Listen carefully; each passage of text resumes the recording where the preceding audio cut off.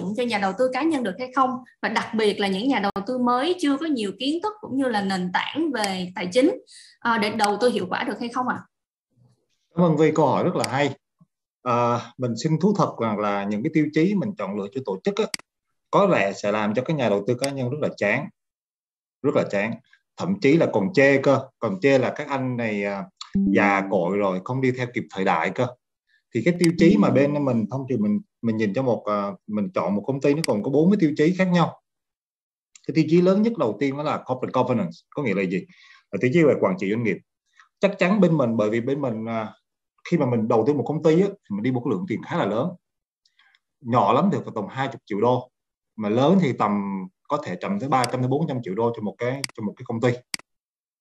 Thì điều đó có nghĩa là mình đồng hành với họ một cái khoảng đường rất là xa rất là dài không phải là mình muốn mua hôm nay là ngày mai mình cảm thấy có gì mình không thích ông ờ, ông chủ chủ tịch này mình bán đi.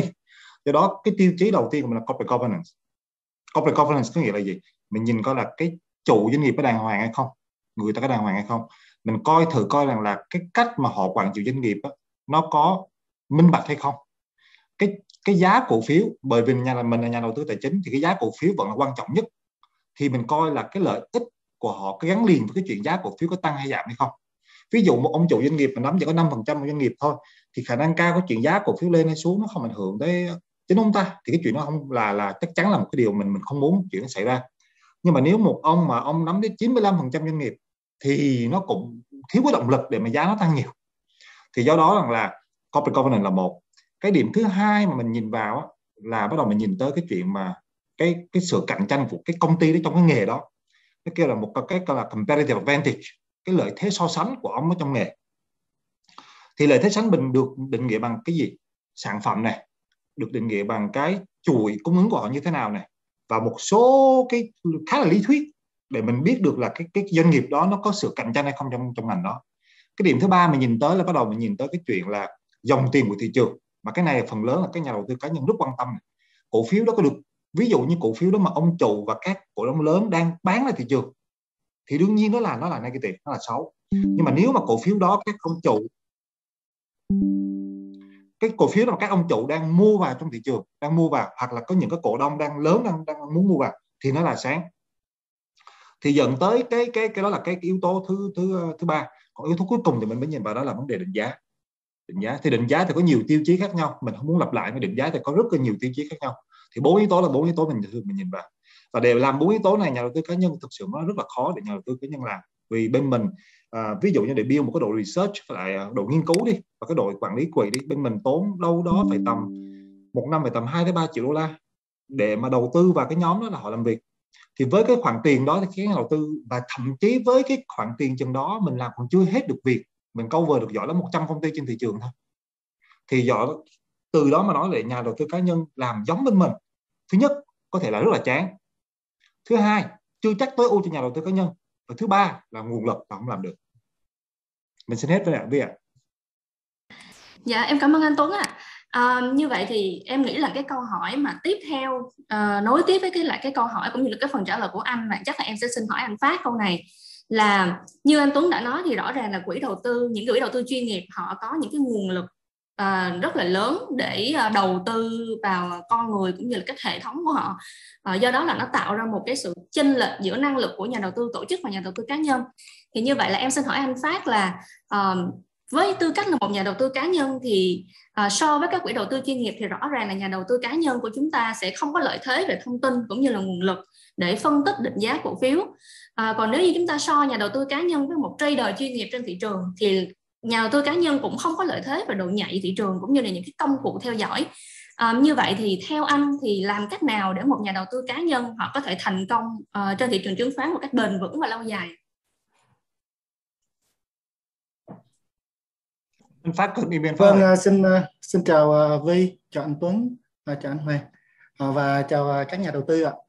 Uh, mình uh, thì uh, được uh, đầu tư một khoảng thời gian cũng tương đối là uh, khá dài ở trên thị trường này. Thì uh, thực sự với tư cách một nhà đầu tư cá nhân thì có những cái lợi thế của những nhà đầu tư cá nhân. Và các quỹ thì người ta có những cái lợi thế về các quỹ.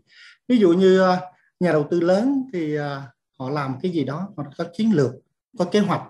Còn chúng tôi nhà đầu tư cá nhân thì chúng tôi chỉ xem qua những cái chiến lược những kế hoạch đó. Họ giải ngân thì họ cần phần có một kế hoạch. Họ không thể nào giải ngân đúng một lần họ, họ cái à, giải ngân cả một cái khoảng thời gian và họ bán họ cũng bán một khoảng thời gian. Thế thì chúng tôi chỉ đi cần theo là chúng tôi đi theo những tay to người ta làm cái gì um, để lại dấu vết và chúng tôi đi theo họ. Uh, chúng tôi thì những nhà đầu tư cá nhân nó đơn giản hơn là chúng tôi muốn bán là chúng tôi bán. À, họ không thể nào bán là được đâu ạ. À. à, các quỹ đâu có thể bán được. À, chúng tôi có thể là bán ngay. À, tôi nhanh hơn các học à, nên là chúng tôi chỉ là à, xem à, họ làm cái gì à, tùy theo à, theo dấu chân của à, người khổng lồ đó là như vậy ạ Dạ, em xin cảm ơn anh Phát ạ. À. Um, tiếp theo với lại cái ý của anh Phát đang nói thì chúng ta thấy rõ ràng là um, giữa nhà đầu tư cá nhân và nhà đầu tư tổ chức thì luôn luôn có những cái sự khác biệt và đôi khi là nó có thể dẫn đến cái sự à, không đồng nhất trong uh, cái nhìn nhận cái view về thị trường uh, như vậy thì em xin hỏi anh Tuấn à là uh, với tư cách là người đại diện cho một cái nhà đầu tư tổ chức thì anh có nhận xét gì về những cái mâu thuẫn trong đầu tư chứng khoán giữa nhóm đầu tư tổ chức và nhóm nhà đầu tư cá nhân à, nếu như mà cái lượng nhà đầu tư cá nhân đi ngược lại với quyết định mua bán của nhà đầu tư tổ chức à, như những cái thống kê thị trường trong thời gian gần đây thì việc này sẽ dẫn đến những cái hậu quả như thế nào và anh có lời khuyên như thế nào trong những cái trường hợp như như vậy à, dành cho nhà đầu tư cá nhân không ạ? À? Câu hỏi rất là hay á Vi ạ. À. Câu hỏi cũng biết khán giả nào rất là hay. Tôi, tôi xin thưa trước là chắc chắn là không có một chút mâu thuẫn nào theo cá nhân Tuấn dự, cái hướng nhà đầu tư cá nhân cũng nhà đầu tư tổ chức. Nhà đầu tư tổ chức mình không nên phân ra tổ chức và cá nhân, bởi vì nhà đầu tư tổ chức cũng được vận hành và được quản lý bởi những con người và những con người đó, họ cũng có cái tư tưởng, cũng có những cái triết học, triết gia, triết lý khác nhau và giống nhau. Do đó hai tổ chức cũng có thể hoàn toàn đi ngược nhau. Có nghĩa là không phải tổ chức nào cũng có một cái investment style cùng một cái chiến lược đầu tư giống nhau đâu do đó mình khi mình gộp lại nhà đầu tư cá nhân và tổ chức mình cảm thấy giống như hai phe khác nhau nó không hẳn đâu. Cá nhân mình đánh giá cá nhân à, mình đánh giá tôi đánh giá là hoàn toàn không có chuyện đó. Tuy nhiên mình phải phân biệt được có một cái là một bên là nhà đầu tư mang tính dài hạn hơn và một bên là mang tính hơi ngắn hạn hơn. Không gì sai nha. Hai trường phái đầu tư không có gì sai cả. Chỉ có khác nhau về mặt về mặt uh, tâm lý khác nhau về mặt về mặt độ lớn và khác nhau về mặt uh, chiều dài về tầm nhìn thôi. Thì cái chuyện đó đối với cá nhân Tuấn nó không có mâu thuẫn. Thậm chí cái đó mới là cái, đó mới là vẻ đẹp của thị trường chứng khoán còn nếu mà thị trường chứng khoán bị dẫn dắt nhận ông cá nhân hoặc phải luôn luôn dẫn dắt bởi những ông cá mập lớn thì con như là vui. Được dẫn dắt bởi những ông kêu là đây mới là cổ phiếu đúng và cổ phiếu đúng nó phải lên. Khi thị trường con như là hấp dẫn, thì có nghĩa là người giàu sẽ rất nhiều rồi. Cổ trường nó quá dễ để kiếm tiền nhưng mà nếu mà Tuấn có có một cái lời khuyên thật sự cho những nhà đầu tư cá nhân á, thì vậy nè thực sự đầu tư theo đám đông đó là một xu hướng các bạn. Đó là nó đã có tồn tại ở đây mấy chục năm cái trend following không có gì lạ cả. Rất nhiều nhà đầu tư tổ chức trên thế giới họ cũng có những chiến lược trend following họ giống như cá nhân. Họ có hệ thống họ theo cái trend đó. Và phải nói là cái người mà thành công nhất thế giới hiện tại là James Simon. Chứ không phải Warren Buffett đâu các bạn. James Simon là người đầu tư thành công nhất thì cái số cái cách họ trade cách họ giao dịch cũng đâu đó là về flow. Không có gì sai cả. Tuy nhiên cái đầu trong đầu tư các bạn đôi lúc á, nó không phải là trận chiến một tháng cũng chẳng phải là trận chiến 3 tháng. Và chắc chắn với các bạn luôn không phải là trận chiến một năm hai năm.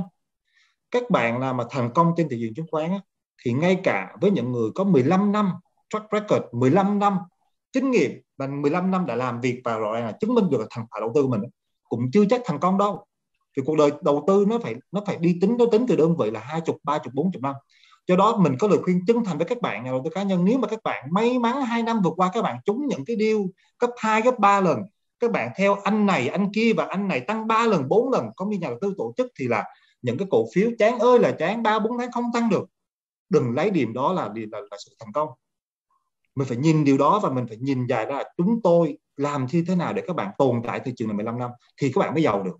Có các bạn chứ mình chưa thấy ai mà vô chụp chụp được một hai năm mà trở thành giàu cả. Mình chỉ thấy những người à, tồn tại ví dụ như anh Hoàng nè tồn tại mười mấy năm mình chắc chắn là rất là giàu đúng không? Thì những người tồn tại lâu trên thị trường tồn tại bền với thị trường thì những người đó những người tích sản và rất giàu các bạn ạ.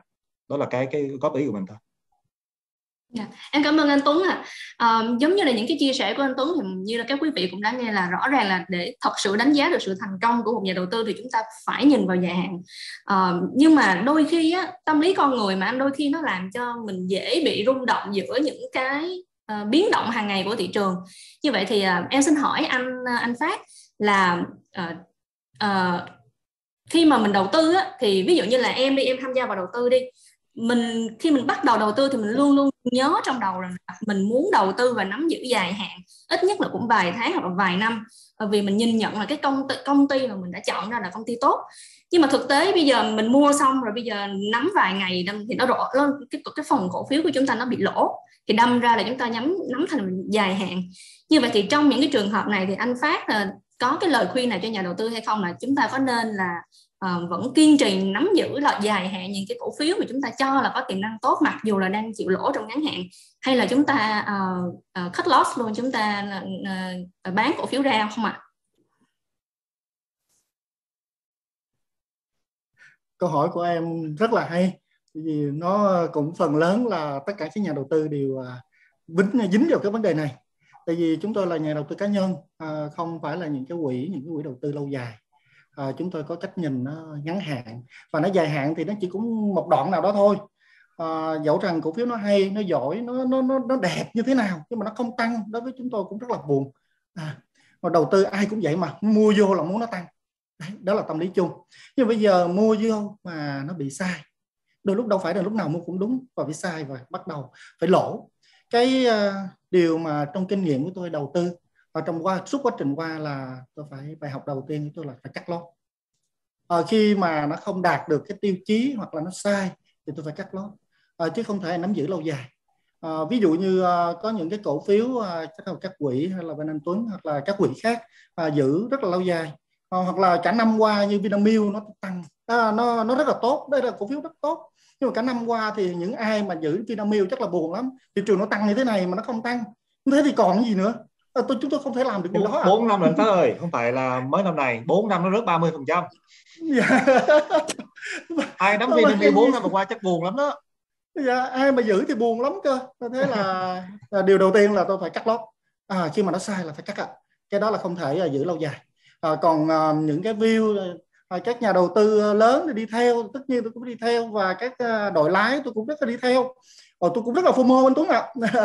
À. với chị Vi tôi rất là FOMO nhưng uh, ở trong đoạn nào đó uh, tham thì cũng phải chia sẻ với phát không à. phải một mình phát FOMO đâu nhiều lúc tổ chức còn FOMO nha à, thấy anh Tuấn tâm lý FOMO tâm lý con người tâm lý con người là không có ai né được đấy đó đó là tâm lý con người yeah. dạ yeah. à, thế à, nên là tôi là phải cắt lót và tôi cũng FOMO nó là như vậy à chị Vi ạ Dạ, yeah. à, em xin cảm ơn anh Phát ạ. À. Như vậy thì rõ ràng là à, những cái rủi ro, đặc biệt là trong những giai đoạn thị trường gần đây như chúng ta đã thấy là thị trường biến động rất là mạnh và có những cái dòng cổ phiếu những cái nhóm cổ phiếu mà được kỳ vọng rất nhiều nhưng mà cũng gây thất vọng rất là nhiều cho nhà đầu tư thì như vậy là em xin hỏi anh Tuấn là à, trong cái quá trình đầu tư của quỹ Dragon đó của, của, của một cái nhà đầu tư chuyên nghiệp thì có bao giờ mình gặp cái trường hợp là mình đưa ra cái quyết định đầu tư có vẻ như nó bị sai chưa và mình thường Ôi. thì các các quỹ chuyên nghiệp họ sẽ sửa sai như thế nào ạ? Vi ơi, trong cuộc đời đầu tư này nếu mà ai nói với Vi và nói với các bạn là chúng tôi đầu tư luôn thành công mà chưa sai á, thì mình chắc chắn với các bạn luôn là bạn người đó một nói láo, hai là chưa trải nghiệm đủ lâu trên thị trường. Chắc chắn với các bạn trong đầu tư nguyên tắc đầu tư là chắc chắn phải sai. Mình nói ví dụ hai trường phái đầu tư đi, trường phái đầu tư về cơ bản này nọ đi. Thì nếu như bạn đầu tư 10 deal, bạn vô 10 cổ phiếu và bạn ví dụ như bạn đâu đó bạn à, bạn đúng khoảng tầm 70% là bạn xuất sắc rồi. Đó cá nhân mình đánh giá nha, về mặt dài hạn uh, còn đầu tư venture đầu tư venture đầu tư đầu tư venture venture đầu tư những cái doanh nghiệp mà startup á bạn vô 10 cái bạn trúng hai cái thôi là bạn xuất sắc rồi do đó cái chuyện mà quyết định sai là cái chuyện gần như là phải phải tập làm quen đó với ạ à.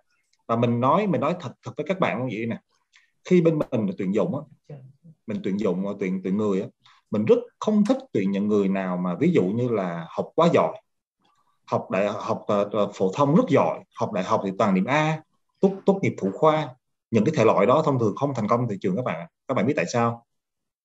Họ cứng đầu. Họ quen môi trường academic rồi. Họ quen với cái chuyện họ đúng rồi. Và thông thường họ khi mà cái chuyện gì xảy ra không đúng theo ý họ thì họ thường thường họ nghĩ là chắc là cái gì nó, nó sai chứ không phải họ sai. Và các bạn biết là thị trường đúng đúng.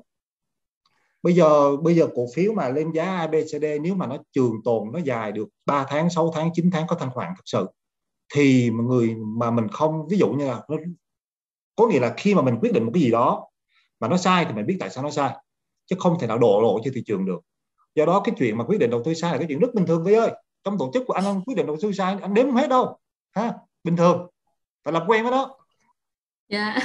như vậy thì mình sửa sai như thế nào anh ví dụ hay là mình uh, mình có những cái biện pháp mà à. uh, phòng ngừa rủi ro nào hay là quản trị rủi ro nào mà anh thấy là nhà đầu tư cá nhân có thể áp dụng không ạ?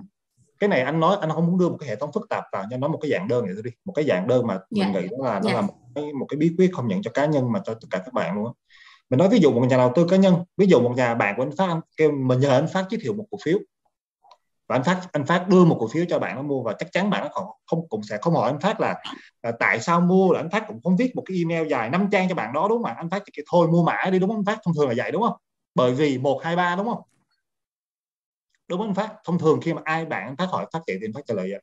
Thì cái cái cái chuyện là cái khi mà bạn ví dụ như bạn đó mà nghe lời anh phát mua cho cổ phiếu đó thì mình chân thành khuyên là khi bạn bán hoặc là bạn có gì để thay đổi bạn phải hỏi anh phát liền.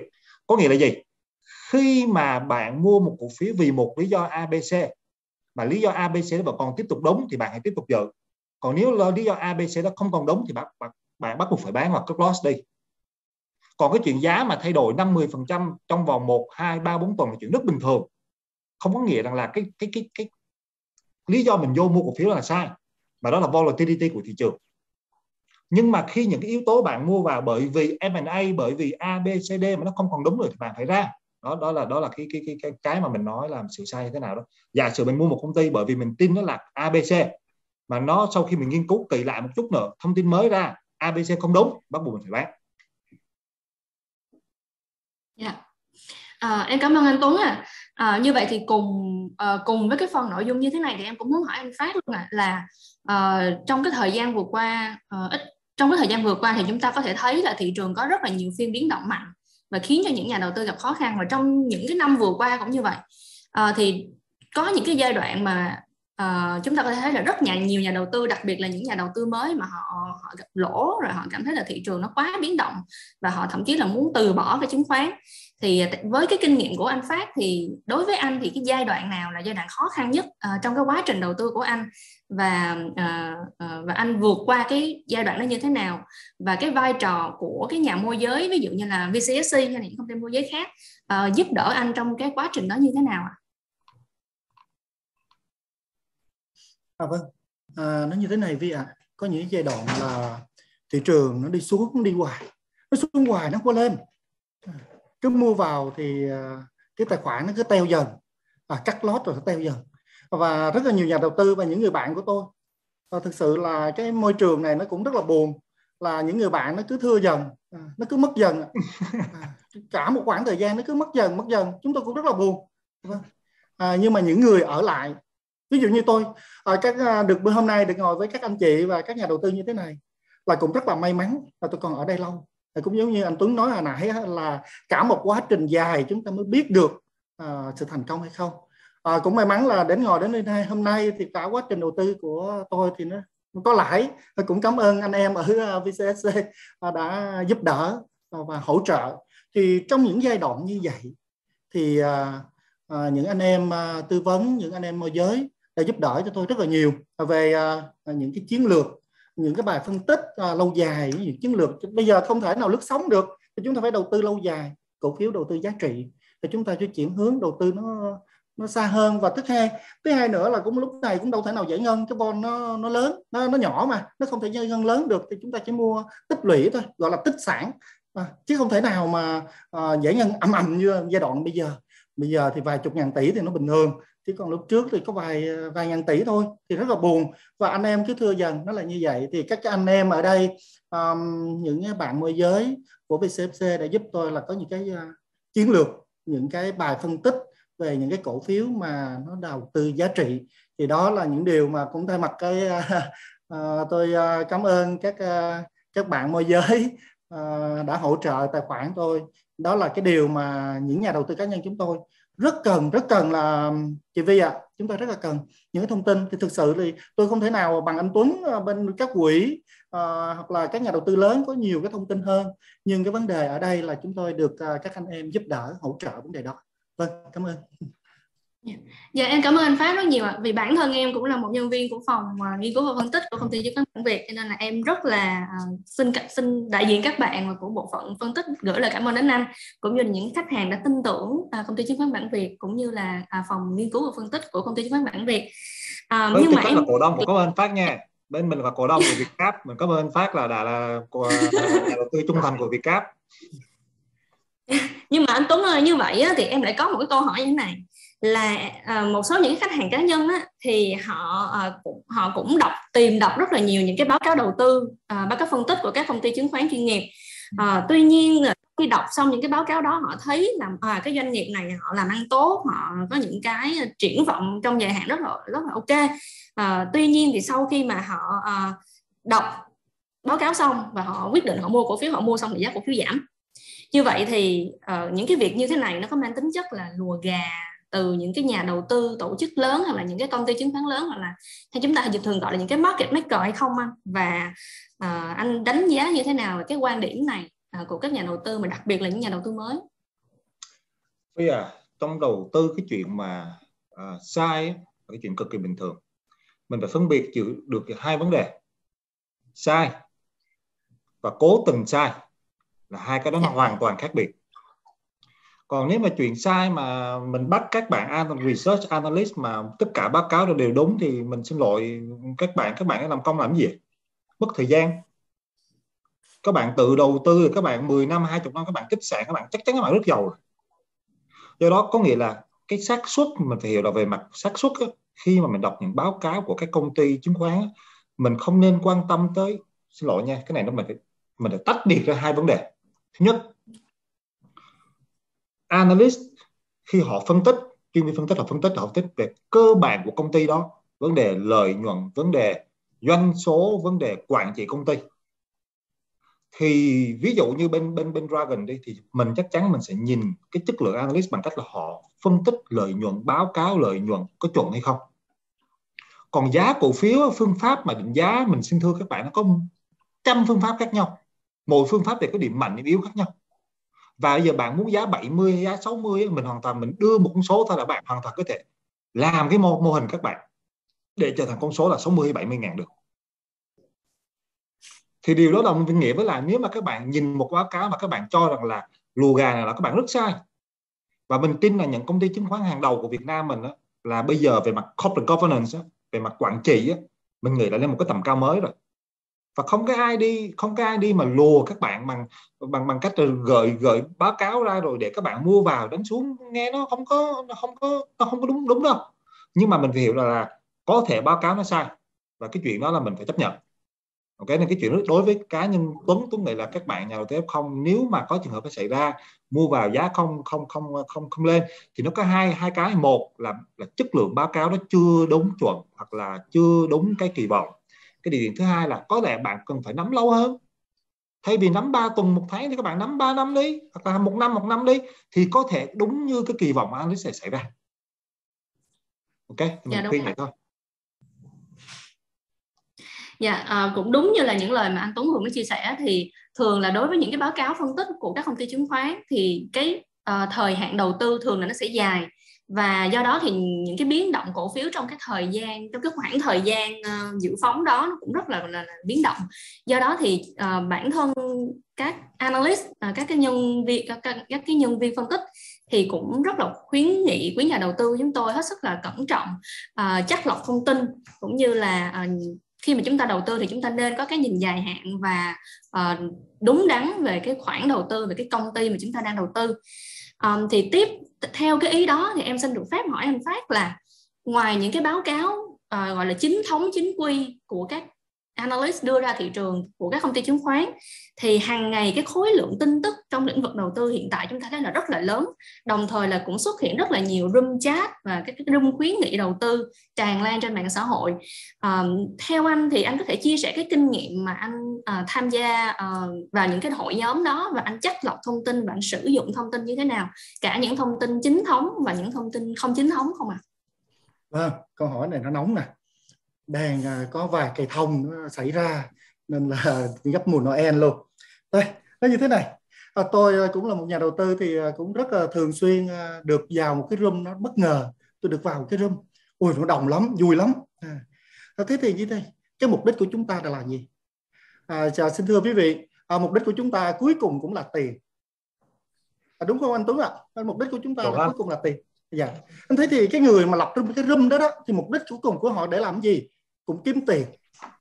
À, thế là người ta đã phân tích rồi. À, người ta đưa lên thì tất nhiên người ta đã mua rồi. Đúng không ạ? Người ta mua rồi người ta mới đưa lên chứ có ai mà phân tích đâu. Rồi để rồi, rồi đưa lên mấy cái room cái này đang nói về các room ạ. À. chứ chưa nói về à, à em không dám nói về các quỹ và các công ty chứng khoán. À, các room. À, thì người ta đưa lên thì tất nhiên người ta mua từ giá thấp rồi. Sau đó người ta mới ép vô à, à, ép gà vào đi ạ. À, tôi cũng là gà đấy. Ép gà vào và đưa ra những cái à, cái khuyến nghị và chúng ta nhảy vào mua. Thế thì chúng ta phong môn mua vào. Như vậy thì cái người mà đầu tiên cái mục đích của người ta thì tất nhiên là quý vị cũng phải hiểu rõ điều đó. Để tránh cái trường trạc như thế. Thế để để làm sao để tránh những trường hợp như đó? Thì và theo phép thì rất là đơn giản. Tôi thì tôi hay bán sớm ạ. à, Ờ, tôi bán ở bên truyền bên dốc bên đây chứ tôi không bán ở bên kia. À, và cái mục đích đầu tiên của tôi tôi mua một cổ phiếu đó. À, quý vị à, cũng cần phải suy nghĩ rõ, rõ như thế này. Đừng bao giờ đánh tráo khái niệm là chúng ta đầu tư cổ phiếu là phải giữ lâu dài. Nếu mà chúng ta phải xác định được cái cổ phiếu đó lúc đó chúng ta mua là cổ phiếu loại gì? Đầu tư giá trị là phải đầu tư giá trị còn đầu cơ là phải đầu cơ nếu mua đầu cổ phiếu đầu cơ đi mà thì tất nhiên mắt chúng ta phải chầm chầm vào bản điện nhìn vào cái cục dư trần đó nó, nó mua như thế nào. Phải nhìn chầm chầm vào nó chứ không phải là sáng nay thấy cục đó khoảng năm 10 triệu nó thả đó rồi ôi và chúng ta đi uống cà phê ngồi tán nhậu. Chỉ cần 5 phút thôi thì cuộc đời chúng ta đã khác rồi quý vị ạ. Đó, đó là vấn đề đầu tư à, về về cổ phiếu đầu cơ. Còn nếu mà chúng ta xác định về cổ phiếu nó đầu tư giá trị thì chúng ta mua phải một khung thời gian nào đó rõ ràng. Một cái giai đoạn nào đó một định hướng một cái cổ phiếu một giai đoạn nào đó chúng ta mới mua. Thế vậy chắc lọc thông tin. Rồi như vậy chắc lọc thông tin thì còn về các uh, uh, báo chí hoặc là các uh, nhà ban lãnh đạo uh, đưa ra những cái thông tin là mua bán cổ phiếu hoặc là những cái thông tin đó. Thì uh, tất nhiên tất cả những cái đầu tư uh, mình cũng có lời khuyên cho các nhà đầu tư F0 trước khi ra chiến trận thì phải rèn cho mình một cây kiếm nào đó đi. Có cái mà phòng vệ chứ không phải đưa cái đầu ra ngoài cho chúng ta nó chém thì chắc chết. À, đừng nên như vậy. Thế thì chúng ta cần phải như thế nào? Họ đọc một cái thông tin phải xem cho đằng sau cái thông tin đó là cái giống gì. Một cái anh lãnh đạo nào đó uh, ban lãnh đạo nào đó. Cổ phiếu đang lên cao mà cái anh bây giờ anh đăng ký à, anh mua thêm 10 triệu cổ phiếu nữa. Cái sáng hôm sau chúng ta nhảy vô chúng ta mua đùng đùng đùng đùng đùng. Và cùng với ta tất nhiên hôm sau nó sẽ đua trần rồi đó cổ phiếu nó lên trần rất nhiều. Và tôi thấy rất là buồn về à, những nhà đầu tư F0 mà nhảy vô đua trần. Phải cổ phiếu nó đang ra giá rất là cao mà có một cái anh lãnh đạo nào, anh đô mua rồi cái tháng hôm sau cái đua trần. Thế là tôi thấy tôi cũng rất là thương cho những nhà đầu tư đó. Chưa chắc gì người ta có mua hay không. Hay là cái tuần sau cái người ta nói hai mà hai tuần sau khi mà người ta xả hàng ra rồi. Thế thì người ta nói là ơi sao tôi à, mua không được vì giá cổ phiếu không hợp lý hoặc là không thu xếp được tài chính à, tôi cũng không hiểu như thế nào. Đó ví dụ như hoặc là có những cái ờ, cổ phiếu ờ, nó đang lên trần à, lên như cái thông như cái vừa rồi đi có một cổ phiếu à, gì đó à, nó lên cái thông lên thật là cao rồi xong rồi xả xuống rồi có một cái anh nào đó anh vô anh anh lại báo là anh anh mua cổ phiếu quỹ hoặc là cổ phiếu gì đó. Tức là nhảy vô mua thế có chết hay không? Giá lên 20 mà hạ xuống 15 cái nhảy vô mua. Chúng ta cũng nhảy vô mua như vậy thì có hợp lý hay không? Khi mà cổ phiếu đó ban đầu nó mới có hai, ba ngàn một cổ phiếu, đẩy lên giá tới 20 thì hạ xuống cho giá 10 thì các bạn nói là dù cổ phiếu nó giá rẻ, xin thưa không có rẻ đâu ạ. À. định giá thì rất nhiều cái cách cách định giá rồi hồi nãy anh Tuấn đã nói. Nhưng mà từ giá 2 mà đẩy lên giá 20 là gấp 10 lần và hạ xuống giá 10 thì có nghĩa là chúng ta đang hạ xuống 50 phần trăm. Các bạn nói là rất là rẻ rồi, nhảy vào mua bắt đáy nhưng điêu bắt đáy này có hợp lý hay không? À cái vấn đề này nó ra cái vấn đề này là tôi thấy là khi mà đẩy lên cao rồi hạ xuống cái nhảy vô ồ có một cục là mua mua sàn. Thế là chúng ta bị đòi lái bị các thông tin nó đẩy cho chúng ta là phân phối giá sàn. À, à cái này thì là cái cái cái điều là là là cái nhà đầu tư F0 hay hay rất là bị. Thế thì chúng ta cần phải phân tích cái thông tin như thế nào. Cái món này là cái món tâm lý. Cái món này là món thông tin chứ không phải là mua cái laptop à, xong rồi giá 20 rồi chút xíu nữa ờ, ngày mai là đưa giá lên là bán giá 22 nó không phải là như vậy. Đây là cái cuộc chơi này là cuộc chơi trí tuệ. À, và cần có sự linh động. À, chứ không phải là cứ cứng nhắc nó là như vậy. À, vâng. Nói về đội lái thì chắc là còn nhiều. Và thông tin là chúng ta nó thông tin là có thông tin của chính thống là thông tin không chính thống. Nó có rất là nhiều. Như vậy là nhà đầu tư cá nhân chúng ta cần phải hiểu rõ à, cái nào đằng sau sự việc đó là cái giống gì? Ví dụ như ờ, động vừa rồi ờ, rất là nhiều người mua cổ phiếu bất động sản nó đẩy đi lên lên. Tại vì uh, thiên thời người ta nói gì rất là rất là nhiều room nó nói là thiên thời đi lại địa lợi gì đó. Thì uh, thiên thời đang bơm tiền à, chính phủ đang bơm tiền thì chỗ nào sẽ ngắm được cái số đồng tiền đó? Để mua cái giống gì thì người ta đi mua đất. À, thì cổ phiếu bất động sản nó tăng thế thì hình như là cổ phiếu bất động sản tăng rất là nhiều đó là một cũng là một cái ý cũng rất là hay có những người người ta đánh giá được điều đó những người mua đầu tiên thì có lời lời rất nhiều quý vị ạ à. đấy thì chúng ta phải đánh giá cái sự việc nó ra làm sao vâng dạ. cái điều đó anh Tuấn ạ à. Pháp biết không dạ. cho mình có ý một cái này dạ. hay dạ. nè ơi cái cái cái vấn đề đầu tư của F0 á, mình nói gì nè cái quan trọng không phải là bạn kiếm bao nhiêu phần trăm cho ví dụ bạn bỏ 50 triệu vô bạn lời gấp 3 lần là bạn được trăm rưỡi nghe thì ngon đúng không? Nhưng mà thực đúng sự nó không phải nó không phải là cái cái cái mà bạn giàu từ đó đâu. Cái quan trọng là bạn bỏ hết dám bỏ hết tài sản bạn vào đó hay không? Thì bỏ bỏ hết tài sản vào những cái deal mà bạn nhân hai nhân ba thì bạn phải có thể bạn trả giá bằng cách là bạn chia 10 nha. Bạn nhìn những cổ phiếu trên sàn biết bao nhiêu cổ phiếu đã đi rồi. Trong vòng 15 năm vừa qua nếu bạn trải nghiệm đủ 15 năm vừa qua thì bạn biết là có cổ phiếu là từng 200 ngàn về bằng 2 ngàn có cổ phiếu đánh từ 10.000 lên 50.000 lên 80.000 gấp 8 lần gấp 10 lần. Trả lại hết về lại 3.000 bằng trả đá. Thì câu hỏi đặt ra cho các bạn á, là các bạn muốn muốn bỏ 50 triệu bỏ 100 triệu bỏ 200 triệu và các bạn nhân 3 lên và các bạn nghĩ các bạn rất giỏi. Hay là các bạn thực sự các bạn nên đầu tư một cách rất bài bản. Mình không mình không. Các bạn phải nhớ là mình không bao giờ mình kêu là speculate à, là đầu cơ là sai nha. Đầu cơ nó là, là dòng máu của thị trường nha. Và cần đầu cơ nha. Nhưng mà không có nghĩa là các bạn các bạn là đầu cơ một cách mù quáng. Ý mình là vậy đó. Có nghĩa là mình đầu cơ phải có cơ bản lỡ mà nó có rớt thì rớt hai chục phần trăm thôi. Chứ đừng có chia 10 tài khoản ra. Ha đó ý đó ý của mình. Nhưng mà cũng có những lúc đó là rớt hai phần trăm vẫn không ra được anh Tuấn ạ. À.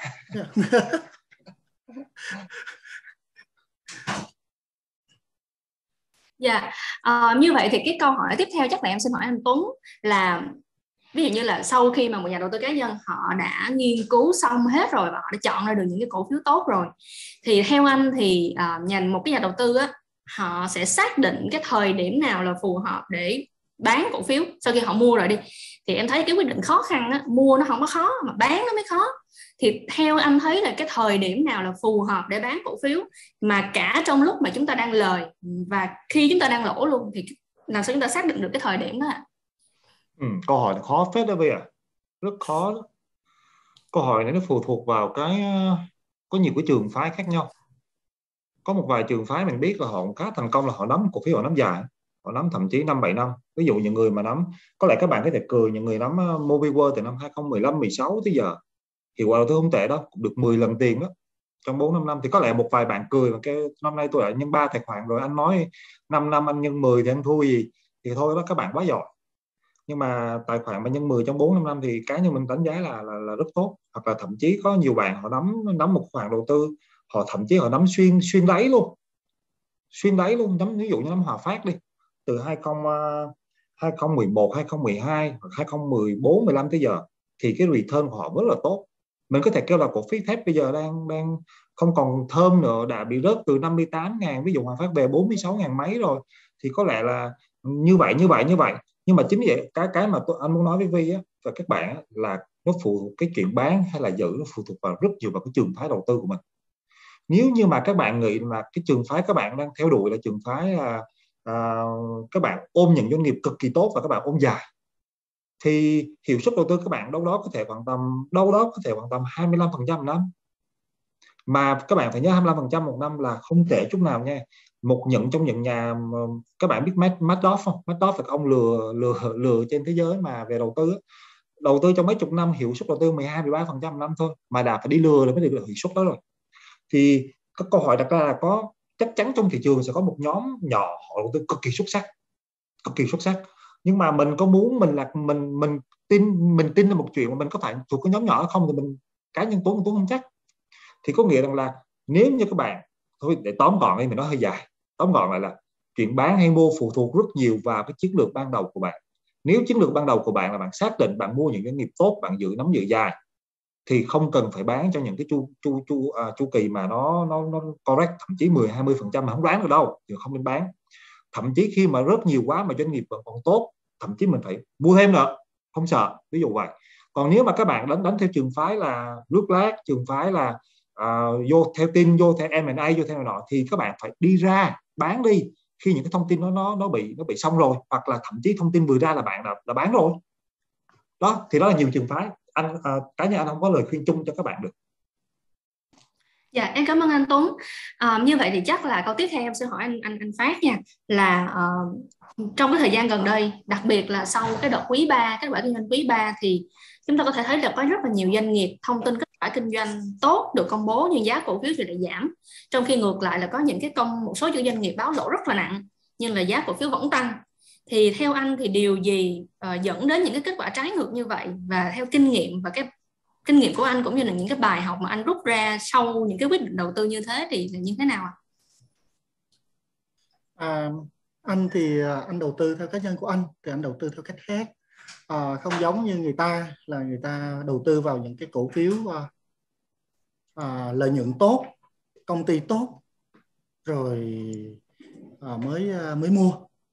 À, ở đây quan điểm của anh à, quan điểm cá nhân à, thì là mua là mua những cái chuyện đó là tương lai chứ không phải là mua cho ngày hôm nay. Hôm nay ai cũng biết là cô đó đẹp rồi nhưng mà ngày mai chưa chắc gì cô ấy đẹp tại vì nhan sắc nhan sắc sẽ tàn phai nhưng một cái cô mà chưa có đẹp ngày mai tôi tôi nâng cấp tôi mong má tôi đẩy lên tôi đưa nó lên. Hoặc là cô đấy chưa dậy thì vài bữa nó dậy thì thì cô ấy nó sẽ rất đẹp. Bởi vậy khi này cổ phiếu còn đang lỗ. Hãy tìm những cổ phiếu lỗ mà có tiềm năng thì sẽ nhân lên tài khoản sẽ nhân lên bằng lần. Còn những cổ phiếu mà đã nó đã đã tốt quá rồi đẹp quá rồi thì làm sao mà nó ví dụ như bây giờ à, Vinamilk đang là 100 ngàn bây lên 3 lần đi là 300 ngàn. Khó không? Khó quá đi. Nhưng mà SBS một năm ngoái chỉ có ngàn rưỡi hai ngàn gì đó. Bây giờ nó là 16 ngàn.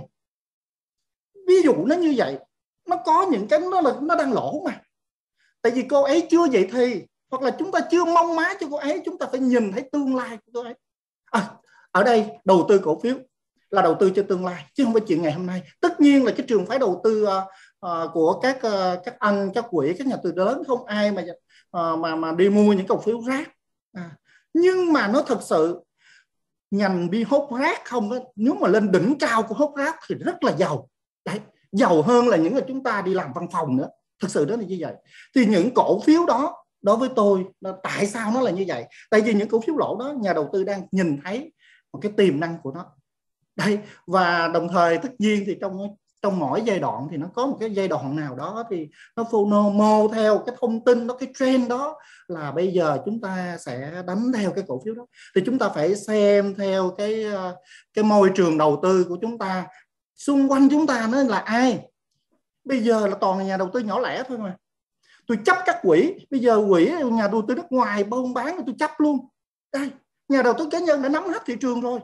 À, các quỹ các là bán thì cũng đâu có nhiều và bây giờ nhà đầu tư cá nhân? Chấp hết thì nào nhà đầu tư cá nhân họ làm gì? À họ đang mua bán những cổ phiếu đó thì chúng ta đang đi vào cái trend đó thì chúng ta hãy cùng như vậy. Thì tất nhiên à, cái này là cục thang mà truyền tay mà. À, thì tôi dám chắc rằng à, à, trong cái giai đoạn vừa qua bên quỹ anh Tuấn chưa chắc gì lãi lợi nhuận bằng chúng tôi đâu bằng những nhà đầu tư cá nhân của chúng tôi đâu. Tôi dám chắc nó là như vậy. Tôi chắc là hơn đến Phát.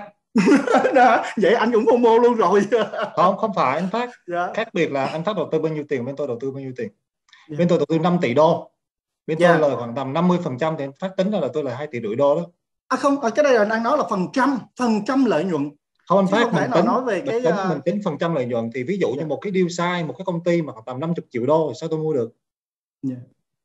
50 triệu đô tôi mua cái tôi tôi tôi thay ông chủ tịch à ông, ông tự tự mua bán luôn chứ gì? À vâng. Tất nhiên cái vấn đề đó cái cái cái, cái, cái đó mình... khác biệt cái khác biệt rất yeah. lớn ở chỗ đó anh phát à yeah. rất lớn ở chỗ đó. Những cái công ty mà thậm chí 200 triệu đô bên tôi không thèm nhìn. Bé quá. Bên tôi vô một deal là ví dụ bên tôi vô một deal là tôi tôi vô tối thiểu từ 20 tới 300 triệu đô. À, đúng Bây rồi. Vô, à, à, thì bên, có sự khác biệt không phát à? Còn nếu mà so sánh cá nhân với cá nhân thì chưa chắc ai ai đoán phát dạ rõ ràng là chúng ta đã thấy được cái sự khác nhau giữa một dạ, cái nhà... từ lớn mình à, và một cái một cái mà một cái mà để mình nhắc um, cái này nói các thời điểm này nói thì các bạn chắc cười cười mình. Thật sự nếu mà anh phát anh phát trải nghiệm thị trường này 15 năm rồi phải anh phát hơn 15 năm rồi đúng không? Anh phát này mute anh phát anh phát unmute anh phát ơi. Ok. À, tôi uh, đầu tư uh, đúng vào cái đỉnh uh, anh Tuấn ạ. À. năm 2006 anh em mình dạ. anh mình anh em mình em vô thị trường là vào chắc anh phát lớn mình. Anh mình vô thị trường vào 2007 phải à. Thì phải nói thật vậy này anh phát và các bạn này, này thì nếu mà các bạn chạy qua thực sự mình ở thị trường này từ năm 99 cơ nhưng mà nếu mà chạy qua hết cái chu kỳ thị trường mình mới thấy được đó, là cái quan trọng trong thị trường chứng khoán á, không phải là bạn kiếm 100 200 phần trăm trong một năm đâu. Quan trọng là bạn sống một thời gian dài trong thị trường. Bạn nào mà sống tồn tại từ 2004 tới giờ tiếp tục đầu tư tới giờ chắc chắn bạn nó giàu. Khẳng định luôn. Bạn cũng chẳng cần phải nhân năm tài khoản trong một năm đâu. Nhưng mà mình biết rất nhiều nhà nhà rất nhiều nhà đầu cơ nhân 3 nhân năm tài khoản năm 2009 2011 là biến hết rồi. Tới giờ ông thầy không còn tên rồi. Mình có thể nêm ra at least 10 người có tiếng trên thị trường này kiếm rất nhiều tiền cho nó hai hai đại tám hai đại chín. Và 2010 11 và 2012 bắt đầu là ra khỏi thị trường luôn à, chuyển sang chuyển sang viết sách anh ạ. À, chuyện chuyện nghe chuyện nghe. À, chuyện viết sách viết sách hết rồi. À, tôi cũng hay đọc sách của bạn thì cái cái mà cái mình cái mình muốn nói với các bạn là đôi lúc á, mình có thể mình ngồi trên cái chuyện mình chiến thắng. Mình chiến thắng ngắn hạn nhưng mà cuộc chiến đầu tư không phải là cuộc chiến ngắn hạn các bạn nó là cuộc chiến sức bền cuộc chiến dài hạn các bạn có thể thua một hai trận đấu nhỏ được bình thường. Nhưng mà trận chiến lớn các bạn cần luôn có mặt đó và các bạn chiến liên tục trong vòng 10, 15, 20 năm tới và đừng có bỏ cuộc. Thì cái đó mới là formula được thành công. Do đó do đó khi mà các bạn thắng được 5 7 lần tài khoản năm nay hoặc là vô những cái deal mà các bạn thấy là có lẽ là câu hỏi đặt ra đôi lúc các bạn đầu tư đầu tư vô một cái điều đó các bạn thắng đi chiến thắng đi các bạn hỏi tại sao các bạn chiến thắng không? Các bạn có tự hỏi là tại sao nó tăng ờ, gấp đôi không? Hay là mình đọc trên cái room này dạy đọc trên cái room kia dạy và nó may mắn nó tăng gấp đôi. Thì cái đó là skill của bạn hay là luck. Cái đó là kỹ năng hay là may mắn.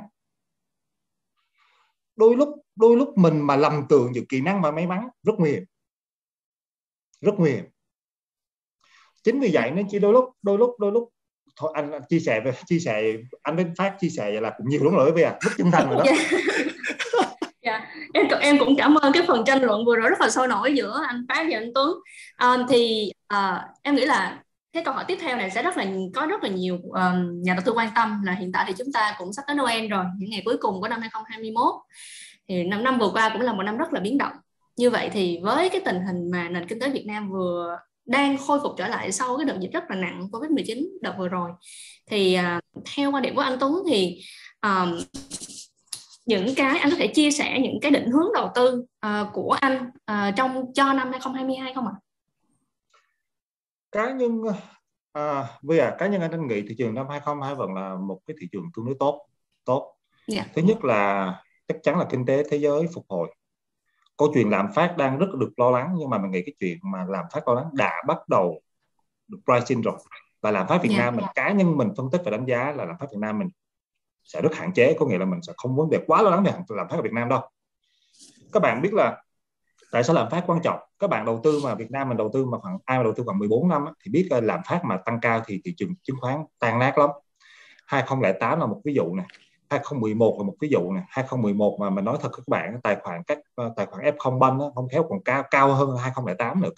Đó thì lạm phát 2011 rất là cao. Và khi mà lạm phát đi xuống là là là, là thị trường chứng khoán rất là tốt thì bên mình phân tích và đánh giá là 2022 lạm phát sẽ kiểm soát ở mức rất là tốt thứ nhất. Cái thứ hai là vấn đề tăng trưởng lợi nhuận của 2022 đâu đó khoảng được 25% định giá chung cả thị trường là khoảng tầm 12 lần PE thôi P, P trên E đó. Thì với cái mức định giá 12 lần và tăng trưởng đâu đó 25% thì mình nghĩ là là là, là thị trường vẫn còn có độ độ tăng độ tăng độ tăng rất là ok. Cộng thêm chưa tính thêm gói kích cầu cộng thêm chưa tính thêm những cái chính sách ví dụ như mở rung ngân hàng hoặc là kích cái này kích cái kia thì mình nghĩ 2022 có lẽ là một năm chứng khoán vẫn là năm vẫn là năm tốt của chứng khoán cá nhân mình đánh giá Dạ, em xin cảm ơn phần chia sẻ của anh Tuấn ạ. À. Um, à, trước khi mà à, Thảo Vi được phép xin phép được chuyển qua cái phần Q&A à, ờ, cho quý à, nhà đầu tư đang tham dự trực tiếp vào cái buổi Zoom của chúng ta ngày hôm nay, thì em cũng xin phép được có một số những cái câu hỏi đến vị khách mời rất là đặc biệt của chúng ta ngày hôm nay là anh Đinh Quang Hoàng, à, phó tổng giám đốc của công ty cổ phần chứng khoán Bản Việt. À, anh Hoàng ơi, à, em xin phép được hỏi anh là à, trong số những cái câu hỏi mà trước chương trình mà mà ban tổ chức nhận được thì có một câu như thế này là xin được hỏi anh là khi mà bản Việt tham gia đầu tư vào những cái khoản đầu tư của công ty thì tiêu chí nào theo anh là quan trọng nhất để mang lại một cái thương vụ đầu tư thành công và anh cân đối tỷ trọng như thế nào giữa lợi nhuận và rủi ro uh, tiềm ẩn trong một cái khoản đầu tư như thế ạ? À? À, để mà xem xét cái cái khoản đầu tư vào công ty thì uh, chúng tôi mà xem xét mà cái một trong những tiêu chí quan trọng nhất là ban lãnh đạo công ty tức là những người mà sở hữu lớn vào trong công ty đấy thì tôi chúng tôi đặt lên cái gọi là corporate governance cái cái cái năng lực của ban lãnh đạo lên hàng đầu. Sau đó chúng tôi bắt đầu mới xem xét đến là là cái cái tiềm năng tăng trưởng của công ty đấy. Thì cái tiềm năng tăng trưởng của công ty nó phụ thuộc vào vào, vào tức là và cái vị trí thị trường của công ty. Công ty đang ở trong vị, vị trí là thống lĩnh thị trường hay là đang là ngôi ngôi sao đang lên và nằm trong cái cái cái ngành hàng đấy là cái cái mặt hàng công ty kinh doanh lĩnh vực công ty kinh doanh nó đang tiềm năng như thế nào, chẳng hạn như ờ, mặc dù là ngành hàng tiêu dùng, chẳng hạn như là những công ty như là, ví dụ tôi nói ví dụ như là Vinamilk, những công ty đầu ngành, hoặc là ngành đấy tăng trưởng chỉ có 5 10 phần trăm thôi. Nhưng mà nếu chúng tôi tìm được cái cơ hội nào mà những công ty mà ngôi sao đang lên á, thì ờ, có thể mà chúng tôi đánh giá rằng là cái công ty đấy nó có ban lãnh đạo tốt và có tiềm năng tăng trưởng gấp đôi, gấp ba, cái cái tiềm năng tăng trưởng của các công ty đầu ngành thì chúng tôi sẽ tham gia. Tức như vậy thì rõ ràng là khi mà chúng tôi đầu tư trên quan điểm là sẽ là dài hạn. Tức là trong tương lai trong 3 đến 5 năm tới thì cái doanh nghiệp đấy nó tăng trưởng bao nhiêu lần so với cái thời điểm mà chúng tôi đầu tư. Thì chúng tôi đã đưa ra một cái, ờ, cái ước tính đấy và cái lợi nhuận kỳ vọng.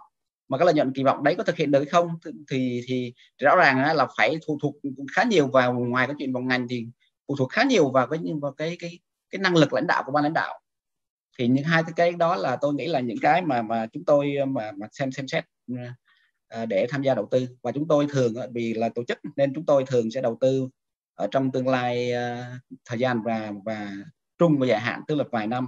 Có những cổ phiếu chúng tôi giữ gần 10 năm chúng tôi cũng chưa bán. Vì thực sự cái tiềm năng tăng trưởng công ty, nếu chúng tôi đánh giá rằng cái tiềm năng tăng trưởng công ty vẫn đang tốt và vẫn đang tăng hơn mức tăng trưởng bình quân của thị trường, thậm chí cao hơn nhiều lần so với thị trường, thì chúng tôi vẫn giữ có những công ty chúng tôi giữ hơn 10 năm này. Và ờ, thì thì, và công ty vẫn vẫn là một công ty đầu ngành và vẫn tăng trưởng rất tốt. Chẳng hạn như công ty thế giới di động chúng tôi giữ cũng là 7 năm rồi. Và từ khi chúng tôi mua tới lúc bây giờ, khi mà tôi, chúng tôi mua từ trước khi mà định giá mà mà IPO đó, định giá đó khoảng ờ, khoảng chưa tới 5 ngàn tỷ. Từ năm 2014 tới bây giờ là 7 năm. Thì bây giờ định giá công ty là thế giới di động đã là gần 100 ngàn tỷ rồi và chúng tôi vẫn giữ. Và chúng tôi thấy rằng mà bình quân một năm công ty tôi vẫn tăng trưởng tới ba mấy phần trăm. Và cái ban lãnh đạo chúng tôi đánh giá ban lãnh đạo là là những người mà là xuất sắc và và leo đá được được công ty này đưa lên từ một cái tầm cao từ trên số từ khi mà IPO tới khoảng 5 ngàn tỷ tới giờ đã là 100 ngàn tỷ rồi. Vẫn là công ty mà rất nhiều tổ chức và và và và nhà đầu tư lớn và, và tham gia và giữ lâu. Tôi nghĩ bên anh Tuấn bên, bên Dragon Capital cũng tham gia từ đầu và vẫn vẫn là cổ đông lớn nhất trong thế giới động của về, về tổ chức đó là những cái tiêu chí mà chúng tôi mà đánh giá về về về cái khoản đầu tư à, em xin cảm ơn anh Hoàng ạ à. à, cái câu hỏi tiếp theo mà em nhận được là à, theo anh thấy thì các cái thương vụ đầu tư à, cả thành công và thất bại thì nên kéo dài trong khoảng thời gian bao lâu à, và cái trong cái chu kỳ uh, chứng khoán sắp tới bắt đầu từ năm 2022 thì anh thấy là cái nhóm ngành nào anh sẽ đặc biệt quan tâm và vì sao ạ? Cái thương vụ thành công và thất bại thì à, nói chung là cũng không mình cũng không uh, có một thời gian cụ thể về cái chuyện mà đánh giá về thương vụ thành công và thất bại. Tùy thuộc với quan điểm đầu tư. Nếu mà uh, thường với các tổ chức như chúng tôi á, đầu tư trên quan điểm là đầu tư dài hạn thì cái thương vụ mà dài hạn thì sẽ nhìn chúng tôi tìm vào cái tiềm năng doanh nghiệp và khả năng tăng trưởng trong tương lai. Tức là khi mà mình đầu tư chứng khoán là đầu tư vào kỳ vọng trong, trong tương lai và kỳ vọng một cái cổ phiếu nó tăng trưởng một công ty nó tăng trưởng thì khi mà trước khi đầu tư thì chúng tôi đã xem xét đánh giá tương đối kỹ về các cái khoản đầu tư đó và tiềm năng tăng trưởng và cái ờ, và cái năng lực của ban lãnh đạo. Thì ờ, thời gian nó không nó tùy thuộc vào cái cái cái ờ, theo dõi cái tình hình hoạt động công ty thôi. Nếu mà công ty vẫn có sức bật tốt và có những cái tiềm năng tăng trưởng mà vượt trội so với thị trường và ở trong cái ngành nghề vẫn mà hoạt động mà tốt bền vững và tăng trưởng cao thì chúng tôi vẫn giữ. Còn nếu mà thương vụ mà thường những thương vụ thất bại thì sẽ nằm ở ở những cái cổ, cổ phiếu mà chúng ta đầu tư theo trường phái gọi là đầu cơ. Thì thường, thường, thường, thường thời gian đấy thì nó sẽ thất bại nhanh chóng chẳng hạn chúng ta nếu mà đầu tư theo phương phương án mà chẳng hạn như đón sóng có tin này hoặc có tin nọ có những một số nhận định dựa trên những cái kết quả bất ngờ của doanh nghiệp ấy, thì thì đấy cái đấy là những cái nhận định của chúng ta theo cái diễn biến rằng nếu mà có những sự kiện bất ngờ đấy thì cổ phiếu nó sẽ lên. Nhưng mà khi mà cổ phiếu nó ra cái sự kiện đấy mà nó không lên thì rõ ràng là không như kỳ vọng. Mà chúng ta là đầu tư dựa trên cái cơ cơ bản đó là những cái sự kiện đấy thì thì cái thời gian mà chúng ta nó ra ngay là tức là thất bại nó sẽ ngay lập tức. Tức là gần như là thời gian chúng ta sẽ thấy ngay khi mà cái sự kiện nó xảy ra mà một thời gian ngắn mà cổ phiếu nó không lên nhưng mà đối với tổ chức chúng tôi thì thường những cái chuyện mà đầu cơ đấy thì chúng tôi rất là hạn chế. Tại vì cái chuyện đầu cơ đấy là là những tin tức đấy chúng tôi thường mà đầu tư theo trường phái là cơ bản và giá trị. Tức là những tại vì tổ chức chúng tôi thì thường những tham gia vào những giao dịch nó phải vài trăm tỷ đến cả cả ngàn tỷ. Thì chúng tôi không rất ít tham gia những trường phái đầu cơ. Tại vì những, những cái chuyện mà cổ phiếu đầu cơ đấy thường là những cổ phiếu tương đối mà nhỏ và trung bình. Cái tính đầu cơ đấy nó nó nó chỉ theo những ngắn hạn và lướt sóng rất nhanh đi ra vào rất nhanh thì không phù hợp đối với các đầu tư, nhà đầu tư tổ chức. Mà đến thương vụ dài thành công thất bại thì tôi nói thành công đấy thì nó hầu như chúng tôi đầu tư mà mà mà trung và dài hạn thì hầu như tỷ lệ thành công tương đối cao cao hơn là vì vì là chúng tôi dựa vào theo cái tiềm năng tăng trưởng dài của doanh nghiệp trong thời gian vài năm. Nhưng mà thỉnh thoảng cũng có, đương nhiên là cái chuyện mà thất bại cũng có, chẳng hạn như cách đây năm à, tôi nói ví dụ cách đây à, tôi đầu tư à, chúng tôi đầu tư ngành thép cách đây khoảng khoảng 4 năm về trước cũng là thời điểm thời điểm đó nó cũng là một thời điểm thời kỳ mà gọi là tăng trưởng uh, cao của ngành thép. Doanh nghiệp thép tăng lợi nhuận năm đấy tăng gấp uh, chắc khoảng gấp 3 lần 3 lần 2 đến 3 lần thì chúng tôi tham gia vào. Mà chúng tôi kỳ vọng nó sẽ ngành thép nó sẽ tăng trưởng ờ, vẫn còn duy trì được. Nhưng mà đến khi mà thị trường mà nó đảo chiều và ngành thép nó đứng lại một cái thì chúng tôi phải phải cắt lỗ ngay. Và và, và thời điểm đấy thì thực ra thời điểm đó chúng tôi giữ cũng chưa tới một năm mà chúng tôi phải cắt lỗ đến khi ba năm sau quay lại thì thì thì là tôi tôi làm lại vòng mới nhưng cái chuyện mà thất bại nó là cái chuyện mà uh, hiển nhiên ai cũng phải chấp nhận thôi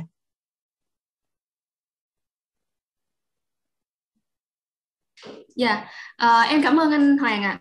À. Um, tiếp sau đây, uh, Thảo Vi xin được đến với cái phần trả lời câu hỏi Q&A của khách hàng uh, trực tuyến uh, vừa vừa được gửi tới cho ban tổ chức. À, thì cái phần Q&A này thì em xin được phép được mời cả ba anh à, anh Hoàng, anh Tuấn và anh Phát à, cùng nhau tham gia à, cái buổi à, Q&A này. À, à, câu hỏi đầu tiên mà Thảo Vi nhận được là em nghĩ là em nghĩ là em sẽ gửi trước cho anh Tuấn à, vì câu hỏi này nó cũng khá là hay. Um, câu hỏi là uh, khi chiến lược dài hạn gặp khó trong hạn thì đối diện với áp lực quản lý tài sản của khách hàng thì những nhà đầu tư chuyên nghiệp như DC Dragon Capital sẽ xử lý như thế nào để đảm bảo quyền lợi của đôi bên? À câu này tính là không không khó Vi ơi, câu này dễ. Thực sự uh, bên bên Dragon năm nay outperform thị trường uh, đâu đó từ 10 tới 30 phần trăm. Có nghĩa là thị trường được ví dụ thôi 35 thì mình được bên mình được 50 tới 65 70 phần trăm thì cái đó là khách hàng rất là vui rồi. Khách hàng đâu có muốn yeah. Dạ. mình nhân 3 nhân 4 tài khoản như các bạn được. Thì bên mình quản lý tầm vài tỷ đô mình nhân 3 nhân 4 chắc chết. Kỳ vọng cao quá đúng không anh? Có nghĩa là mình bên mình quản lý uh, hiện tại khoảng tầm 6 tỷ rưỡi đô đi. Mà mình hơn thị trường 30 phần trăm thì 20 30 phần trăm thì mình nghĩ là bên mình khá là xuất sắc đó. Không phải tự khen nhưng mà khá là xuất sắc đó. Bởi vì uh, một cái khoản tài sản lớn vậy thì cứ như bạn bạn gần như là một phần của thị trường rồi. Bạn không thể nào mà uh, khác thị trường nhiều được các bạn hiểu ý mình không? Ví dụ như thị trường là 100 đồng bạn chiếm hết uh, đâu đó 3 đồng thì bạn gần như là một phần của thị trường rồi mà bạn hơn thị trường hai ba chục phần trăm nghĩa là, là, là, là mình rất là happy rồi. Khách hàng mình rất là happy không vấn đề gì hết. Mình mà nhân ba tài khoản khách hàng mới sợ đó sợ mình cút bút. Dạ em cảm ơn anh ạ. À. um, câu hỏi tiếp theo uh, là về ngành. À, à, chắc là em xin được phép hỏi anh Hoàng là à, theo như nhìn quan điểm của anh thì trong năm 2022 thì những ngành nào sẽ là những cái ngành uh, hot và sẽ có được cái tỷ suất lợi nhuận cao trong năm trong năm sau ạ? À?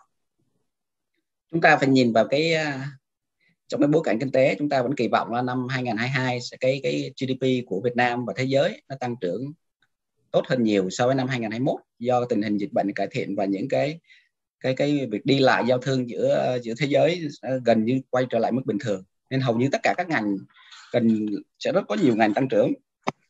Tôi nói ví dụ chẳng hạn như là bất động sản đi. Bất động sản mặc dù bất động sản đã à, các cổ phiếu bất động sản năm vừa rồi đã tăng giá gần như gấp đôi. Nhưng mà nhìn lại trong thời gian hai ba năm vừa rồi bất động sản trên toàn thế giới vẫn tăng tăng giá. Và bất động sản đặc biệt bất động sản Việt Nam trong hai ba năm vừa rồi tôi nghĩ là tăng trưởng khoảng gấp 2 gấp 3 lần về giá bất động sản.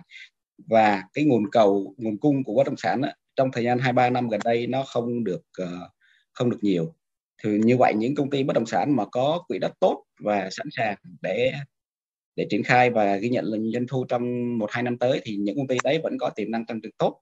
Đương nhiên trong cái ờ, cái cái ngành bất động sản thì trong năm vừa rồi thì cũng có khá nhiều công ty bất động sản từ quy mô rất bé mà hầu như không có không có lợi nhuận gì và không có có có, có tiềm năng gì đáng kể vẫn ăn theo cái các cổ phiếu bất động sản và tăng giá rất nhiều. Thì cái đấy chúng ta phải các nhà đầu tư cũng nên xem xét lại kỹ giữa chúng ta phải nhìn rõ là các công ty bất động sản nào là những công ty thật sự tốt và vẫn còn tiềm năng tăng trưởng.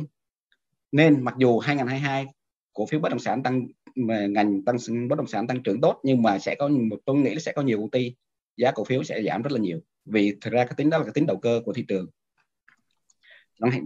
Ngành thứ hai tôi nghĩ là chẳng hạn như các cái ngành liên quan tới uh, logistics về thì vẫn là là là là một, một năm tăng tốt vì cái nhu cầu logistics vẫn là một cái nhu cầu tốt của thị trường và các ngành về các rồi các ngành về tài chính ngân hàng thì uh, ngân hàng thì năm vừa năm 2021 là các ngân hàng hầu như là tăng trưởng lợi nhuận 50% tức là tăng trưởng cực kỳ cao. Nhưng mà các dự kiến của năm 2022 thì chúng tôi nghĩ ngân hàng vẫn tăng trưởng được trên 20% vẫn là một cái ngành mà hầu như trong ờ, hầu như trong đại dịch ờ, ngân hàng vẫn là được hưởng lợi từ cái cái cái cái chuyện mà mà mà ta, của thị trường ngành tài chính hoặc là các ngành mà hàng tiêu dùng. Ngân hàng tiêu dùng những công ty mà đầu ngành và những hàng tiêu dùng thiết yếu thì vẫn có thể tăng trưởng. Tức là tóm lại là rất, rất nhiều ngành rất nhiều ngành có tiềm năng tăng trưởng cao. Và chúng tôi khoảng đầu tháng tháng giêng đầu năm à, 2022 chúng tôi ra một cái báo cáo chiến lược thị trường thì chúng tôi trong đấy sẽ phân tích rất rõ là hầu như các công ty trong đầu ngành và tiềm năng tăng trưởng có như thế nào và giá cả khuyến nghị như thế nào thì mời, mời, mời các quý vị đón xem thì sẽ thấy chi tiết hơn. Nhưng tôi xin muốn lưu ý thế này. Thực ra trong ở cái thời điểm năm thời điểm hiện tại này thì rõ ràng là năm 2021 này chúng ta cái thị trường đã tăng trưởng đến 35% và hầu như cái dòng tiền mà tôi nói gọi là cái dòng tiền mà tham gia đầu tư chứng khoán từ năm 2020 đến 2021 thời điểm này gần như đây tôi gọi là dòng tiền dễ tính. Tức là cái tính dễ tính của thị trường nó sẽ xem nó đầu tư vào tất gần như là cả các cổ phiếu mà lâu nay hầu như không ai tham gia. Những cổ phiếu mà chỉ có hai ba ngàn năm ngàn mà có thể bây giờ nó lên quay lại lên lên gấp 10 lần hoặc có tới mười mấy lần thì đấy là tức là khi mà dòng tiền dễ tính nó quay ra cộng với cái hiệu ứng FOMO thì thì khi mà cái chuyện mà dòng tiền dễ tính đi cái đấy nó nó nó mất đi. Tức là hoặc là người ta khi cái, cái mức độ dễ tính của dòng tiền nó nó giảm đi thì mặc dù là các ngành nghề tăng trưởng ờ, cao, tiềm năng tăng trưởng các cổ phiếu cao, nhưng mà cái tính dòng tiền giải tính đi thì cái định giá lại của thị trường giá lại của công ty nó sẽ thay đổi. Và nó sẽ có thể nó sẽ có điều chỉnh trong cái chuyện mà mà mà mà ở thị trường năm 2022 và tôi cũng không, mặc dù là cái tiềm năng tăng trưởng kinh tế của năm 2022 là vẫn tốt hơn nhiều nó so với năm 2021 mà chúng tôi không không nghĩ rằng cái việc mà mà tăng giá của thị trường chứng khoán năm 2022 sẽ lặp lại là cái chuyện là thị trường chứng khoán VN Index có thể tăng được trên 30% so với với cái chuyện mà như 2021 đã đã đang xảy ra. Dạ em xin cảm ơn anh Hoàng ạ. À. À, câu hỏi tiếp theo mà Thảo Vi nhận được là à, em xin được gửi đến anh Phát ạ. À, là một quý khách hàng hỏi là mình khi mình đầu tư thì mình đền mình nên đầu tư dàn trải nhiều mã cổ phiếu hay là chỉ nên tập trung vào một vài mã trụ cột ạ? À? em xin mời anh phát ạ. À. vâng. À, nói chuyện này à, Vi ạ. Thì à, trong cái danh mục đầu tư của anh lúc nào nó cũng khoảng à, 5 5 đến 6 nó tùy theo cái size tùy theo cái size tài khoản của chúng ta. Đối với những nhà đầu tư F0 thì cũng tùy theo cái size. Ví dụ à, nhà đầu tư cá nhân thì uh, có thể là mua những cái cổ phiếu nó có thanh khoản kém thì để chúng ta thường thì thanh khoản kém nó dễ đi lên. À, nó dễ làm giá. À, còn những cái cổ phiếu mà cái khối lượng thanh khoản lớn thì uh, nó là những nhà đầu tư tổ chức.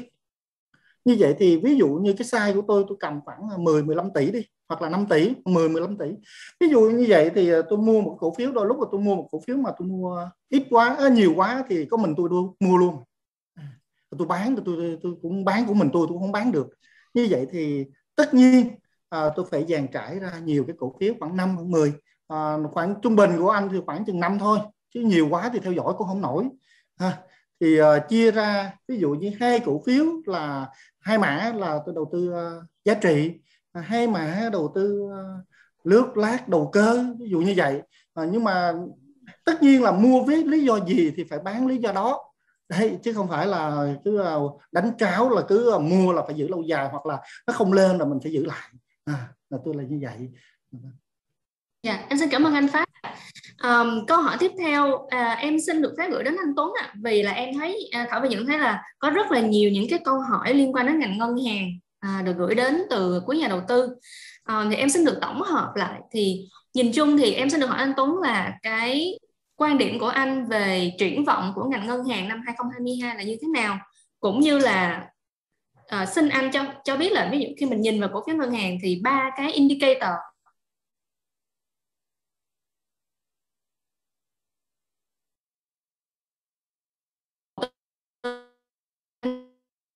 Nhìn vào khi anh xem xét những cái cổ phiếu ngân hàng này. Cái cái cái ba thứ nhất là mình phải coi uh, cái này mình không biết mình đang mình đang phân vân là biết mình đang trả lời một cách rất là f không hay là mình đang trả lời một cách rất là tổ chức nó khác biệt đó các bạn ạ à. nếu mà nếu mà mình trả lời góc cạnh tổ chức trước đi thì cái mà mình mình. Dạ. muốn nói về tổ chức trước đi thì tổ chức thứ tiên là mình phải nhìn vào chất lượng tài sản chất lượng tài sản trước tiên khi mà chất lượng tài sản thực sự nó có vài cái yếu tố các bạn hỏi về chất lượng tài sản ờ, chúng tôi sao nhìn được à, các anh ờ, có uh, làm đi đi này nọ các bạn này là các anh mới biết chứ sao tôi nhìn được thực sự các bạn nhìn được đó không khó đâu data available nhiều đó data trên trên cái số liệu trên một vài cái uh, public domain đó, là những cái mà chung là có đó các bạn hoàn toàn có thể nhìn này ví dụ như này lại dự thu lại dự thu mà các bạn thấy nó tăng đột biến trong vòng 3 năm mà chắc chắn là có chắc chắn chất lượng tài sản có vấn đề. Đó là một cái ví dụ điển hình và nhỏ nhất các bạn có thể nhìn là uh, cho vay dài hạn trên cho vay ngắn hạn thông thường khi mà nợ xấu phát minh phát sinh nhiều thì thông thường là ngân hàng sẽ dồn cái chuyện cho vay ngắn hạn chuyển hóa thành cho vay dài hạn. Thì bạn các bạn chỉ cần lấy cho vay dài hạn các bạn chia cho vay ngắn hạn. Các bạn thấy cái hệ số đó mà nó um, tiếp tục tăng lên thì chất lượng tài sản nó có vấn đề. Ví dụ vậy có nghĩa có một vài cái uh, cái hệ chỉ số mà các bạn nhà đầu tư cá nhân cũng có thể nhìn được. Đó là thứ nhất. Cái thứ hai là mình nhìn tới à, tới kia một chút về valuation bao gồm là cái gì? Bao gồm là PP giá trên sổ sách giá trên sổ sách cũng, thực sự các bạn đến cà phê các bạn có thể thấy được, hoặc là và file file an, các bạn đều có thể thấy những cái số liệu được, hoặc là FinPro các bạn thấy được hết. Số liệu PP trên quá khứ như thế nào? Số liệu PE như thế nào? Sau khi nhìn cái đó rồi thì cái thứ ba các bạn cần nhìn là cái catalyst. Ví dụ nhìn xong hai ba cái đó là mình nhìn catalyst là sắp tới ngân hàng có có cái tăng trưởng lợi nhuận mạnh hay không? Có cái gì để mà thúc đẩy giá cổ phiếu tăng hay không? Thì ba yếu tố đó các bạn cộng lại, các bạn thấy ổn, các bạn các bạn mua được rồi. Rồi cái câu cái câu đầu tiên của Vi hỏi là câu gì hả? Đánh giá ngành dạ, ngân hàng uh, triển vọng của ngành ngân hàng dạ. À, nếu như mà mình tin là thị trường chứng khoán 2022 có sự tăng trưởng nhất định thì phần lớn bắt buộc phải được dẫn dắt bằng khối ngân hàng các bạn rất khó dẫn dắt bằng khối bất động sản vì bất động sản đồng ý với Hoàng bất động sản Việt Nam mình về mặt bằng giá là tăng tương đối tốt những năm vừa qua. Dẫn tới nó phải chuyển hóa qua cái giá của cổ phiếu của của ngành bất động sản. Tuy nhiên không phải cổ phiếu nào cũng bởi vì là nó chuyển hóa qua bởi vì các bạn biết khi mà các bạn làm bất động sản nó phức tạp lắm. Mà đất thấy vậy các bạn lấy mét vuông các bạn nhân ra không hẳn đâu, các bạn còn phải đền bù, các bạn còn phải giấy tờ hồ sơ pháp lý tùm lum thứ hết mới ra được.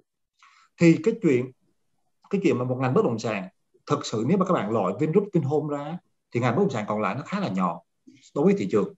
Thì cũng rất là khó để ngành bất động sản là cái ngành dẫn dắt cả thị trường được. Ok?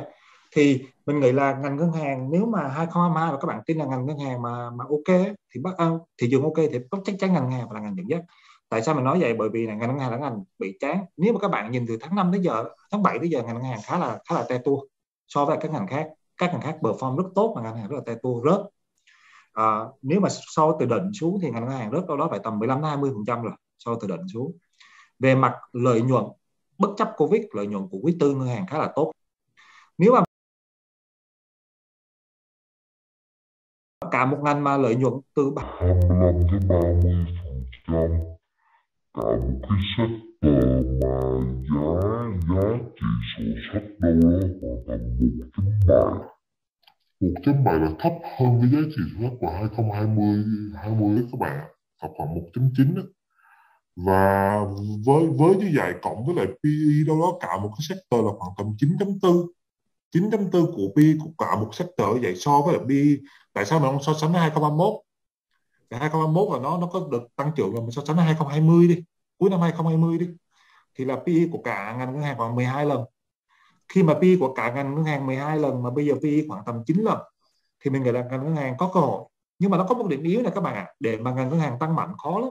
Bởi vì nó phải đòi hỏi dòng tiền rất là lớn. Các bạn biết các bạn biết thanh khoản của ngành ngân hàng ở đỉnh cao là chiếm 45 phần trăm thị trường.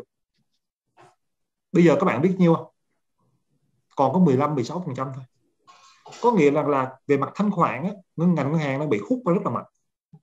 Và sự chán nản có thể tới cực điểm rồi. Bây giờ nó nhắc cái ngân hàng không khéo nó lấy dép nó quăng cái đầu mình đi chứ. Thì không khéo là cái đoạn mà người ta chuẩn bị lấy dép quăng cái đầu thì mình lượm dép mình chạy rồi cảm ơn các bạn. Dạ, em cảm ơn anh Tuấn ạ. À. Um, câu hỏi tiếp theo em xin được phép gửi đến anh Hoàng ạ. À. À, em nghĩ đây là một cái câu hỏi rất là hay và bản thân em uh, trong thời gian vừa qua thì cũng có nhận được rất là nhiều câu hỏi tương tự như thế này.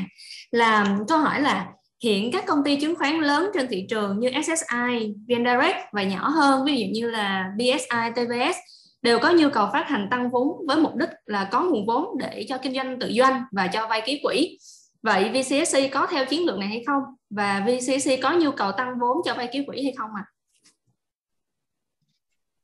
Thì uh, trong năm à, 2021 thì các công ty chứng khoán và một số công ty nói chung là khá nhanh nhạy với thị trường. Khi thị trường mà lên mạnh thì các công ty đấy uh, uh, tận dụng cái điểm tăng của thị trường và huy động vốn thì để um, mở rộng hoạt động kinh doanh và cho vay ký quỹ. Thì hầu hết các công ty mà muốn uh, à, hầu như các công ty mà nằm trong top à, top 5 á, thì à, là đã đụng trần cái hạn mức cho vay à, cái quỹ này. Hầu như cái tỷ lệ bây giờ cái tỷ lệ cái cho vay cái quỹ là hai phần trăm hai hai lần so với vốn chủ sở hữu. Hầu như các công ty đã cho vay hết rồi. Và và các công ty đấy thì thường họ tập trung nhiều vào trong các vấn đề về môi giới. Thì để họ mở rộng được cái hoạt động kinh doanh thì họ sẽ phải tăng vốn điều lệ lên để chủ yếu là cho hoạt động cho vay cái quỹ và một phần vào tự doanh. Riêng đối với chúng tôi ấy, thì à, ở thời điểm mà đến cuối năm nay ấy, thì cái tỷ lệ cho vay ký quỹ thì mới khoảng một lần vốn chủ sở hữu. Và chúng tôi vẫn còn dư địa là tăng cho vay margin lên một lần vốn chủ sở hữu. Còn các hoạt động khác về tự doanh hay là là gì thì chúng tôi sử dụng nguồn vốn chủ sở hữu đã tôi nghĩ là đã đã đủ. Và tại vì cái quan điểm của chúng tôi ấy là vẫn dựa trên cái hiệu quả của cổ đông mà xin lời của cổ đông là tiêu chí quan trọng nhất chứ không phải là tiêu chí mà để mở rộng thị phần và các cái tiêu chí khác và, và để tăng vốn điều lệ lên. Nên là chúng tôi vẫn giữ được cái quy mô mà hợp lý nhất. Tại vì thực ra khi mà tăng vốn và cho vay cái quỹ thì chẳng hạn lãi suất cho vay cái quỹ chỉ được khoảng một năm là khoảng 12 đến 13 phần trăm thôi. Thì khi mà à, quý vị mà đầu tư mà mà mà ở cái thị trường mà chúng ta kỳ vọng một năm mà để bỏ đồng vốn vào có vốn kinh doanh mà một năm chỉ lời được khoảng 12 13 phần trăm thì thì quý vị có nghĩ đó là cơ hội tốt hay không? Thì nó gần giống như là cho vay thì đó thì thì tôi, theo tôi quan điểm của tôi đó không phải là một cơ hội kinh doanh tốt. Nếu mà chỉ đem lại tỷ suất lợi nhuận chỉ khoảng 12 13 phần trăm cho vay cái quỹ thôi. Đấy chúng ta, nếu mà chúng ta phải ở mình, để chúng ta mà đầu tư thì chúng ta phải kỳ vọng, ví dụ gấp vài lần cho, so với vốn tiết kiệm, tức là một năm chúng ta phải kỳ vọng, mà ờ, bình thường chúng ta phải kỳ vọng lợi nhuận khoảng 2 đến 30 phần trăm. Và chúng tôi đặt mục tiêu là cái ờ, cái hiệu suất trên vốn chủ sở hữu chúng tôi là ít nhất là phải từ 20 phần trăm trở lên. Nên cái chuyện mà mở rộng mà tăng cái quy mô vốn chủ sở hữu, tăng, phát hành tăng vốn lên để chủ yếu là cho hoạt động, cho vay cái quỹ thì đó là không phải là cái mục tiêu mà mà trước mắt của chúng tôi. Và chúng tôi vẫn còn dư địa để tăng cái cái quyền cho vay cái quỹ lên. Và chúng tôi cũng tương đối thận trọng vòng trong cái chuyện mà mà mở rộng cho vay cái quỹ. Mà những cổ phiếu nào mà có tiềm năng cơ bản tốt và những cổ phiếu nào mà mà mà có thanh khoản mà thực sự mà thanh khoản tự nhiên của thị trường và chúng tôi đánh giá là là là tốt thì chúng tôi mới cho vay cái quỹ. Và chúng tôi không không cho vay cái quỹ đối với tất cả các các cổ phiếu. Đặc biệt là những cổ phiếu đầu cơ mà mà nó ờ, rời xa quá cái giá trị thực của của, của công ty. Nên là nên, nên là sang năm ờ, năm 2022 dự kiến chúng tôi hiện nay cũng chưa có kế hoạch nào về tăng tăng nguồn vốn uh, huy động vốn để tăng tăng cho vay ký quỹ. Có thể chúng tôi sẽ cân nhắc về cái chuyện mà về chia cổ phiếu hay là những cái cái đấy thì nó chỉ là về về bút toán kế toán thôi. Nhưng mà cái đấy thì chúng tôi chưa chưa chưa quyết định cuối cùng nhưng mà về phát hành tăng vốn thì chúng tôi hiện nay là chưa có kế hoạch phát hành tăng vốn À, em xin được phép cảm ơn anh Hoàng ạ. À. Um, câu hỏi tiếp theo à, em xin được gửi đến anh Phát ạ. À. À, một khách họ một khách hàng của chúng ta, một nhà đầu tư của chúng ta thì có đặt câu hỏi là à, xin hỏi anh Phát là trong quá trình tham khảo thông tin hàng ngày thì các kênh thông tin tham khảo thông các kênh thông tin à, tham khảo nào là anh được dùng anh thường là được anh dùng để tham khảo thông tin hàng ngày ạ? À? Vâng. Thì à, đầu tiên là anh sẽ tham khảo những ờ, thông tin của anh em môi giới. Tại người là trực tiếp quản lý tài sản của anh tài khoản của anh mà. Thì người đó là người mà giữ tiền của mình mà lạng quạng là mất tiền đấy. Nên là anh tham khảo thông tin đó. Cái đó đầu tiên. Sau đó là những cái kênh thông tin đại chúng thôi. Cũng như là cà phê ép hay là người đồng hành là Vietstock và đồng thời về những cái Ờ, bản đánh giá của rất nhiều công ty chứng khoán thường đưa lên ở trên ờ, cà phê FM thì anh cũng tham khảo từ những thông tin đó mà còn ờ, thì cũng chui vào các room nữa nè. Anh cũng chui vào các room cũng xem xét những cái thông tin đó là đánh theo trend mà. Nhà đầu tư cá nhân thì nó dễ. Và nó là chỉ là như vậy thôi các thông tin như vậy. À, em xin cảm ơn anh Phát ạ. À. um, câu hỏi tiếp theo em xin được gửi đến anh Tuấn à em nghĩ là à, câu hỏi này sẽ rất là anh Tuấn sẽ rất là thích à, có một nhà đầu tư của chúng ta hỏi là à, xin anh Tuấn chia sẻ cách tham gia đầu tư chứng chỉ quỹ của DC phát hành ạ à. à, à cảm ơn bạn cảm ơn bạn đã chú ý tới à, DC VFM thì thật sự bên mình có cái phần mềm cái Dragon X á. Dragon X hoặc các bạn vô trong à, Facebook hoặc là website là Ờ, uh, DC VFM thì các bạn đều có thể thấy được những cái hướng dẫn chỉ dẫn để các bạn vào cái phần mềm đó các bạn download về.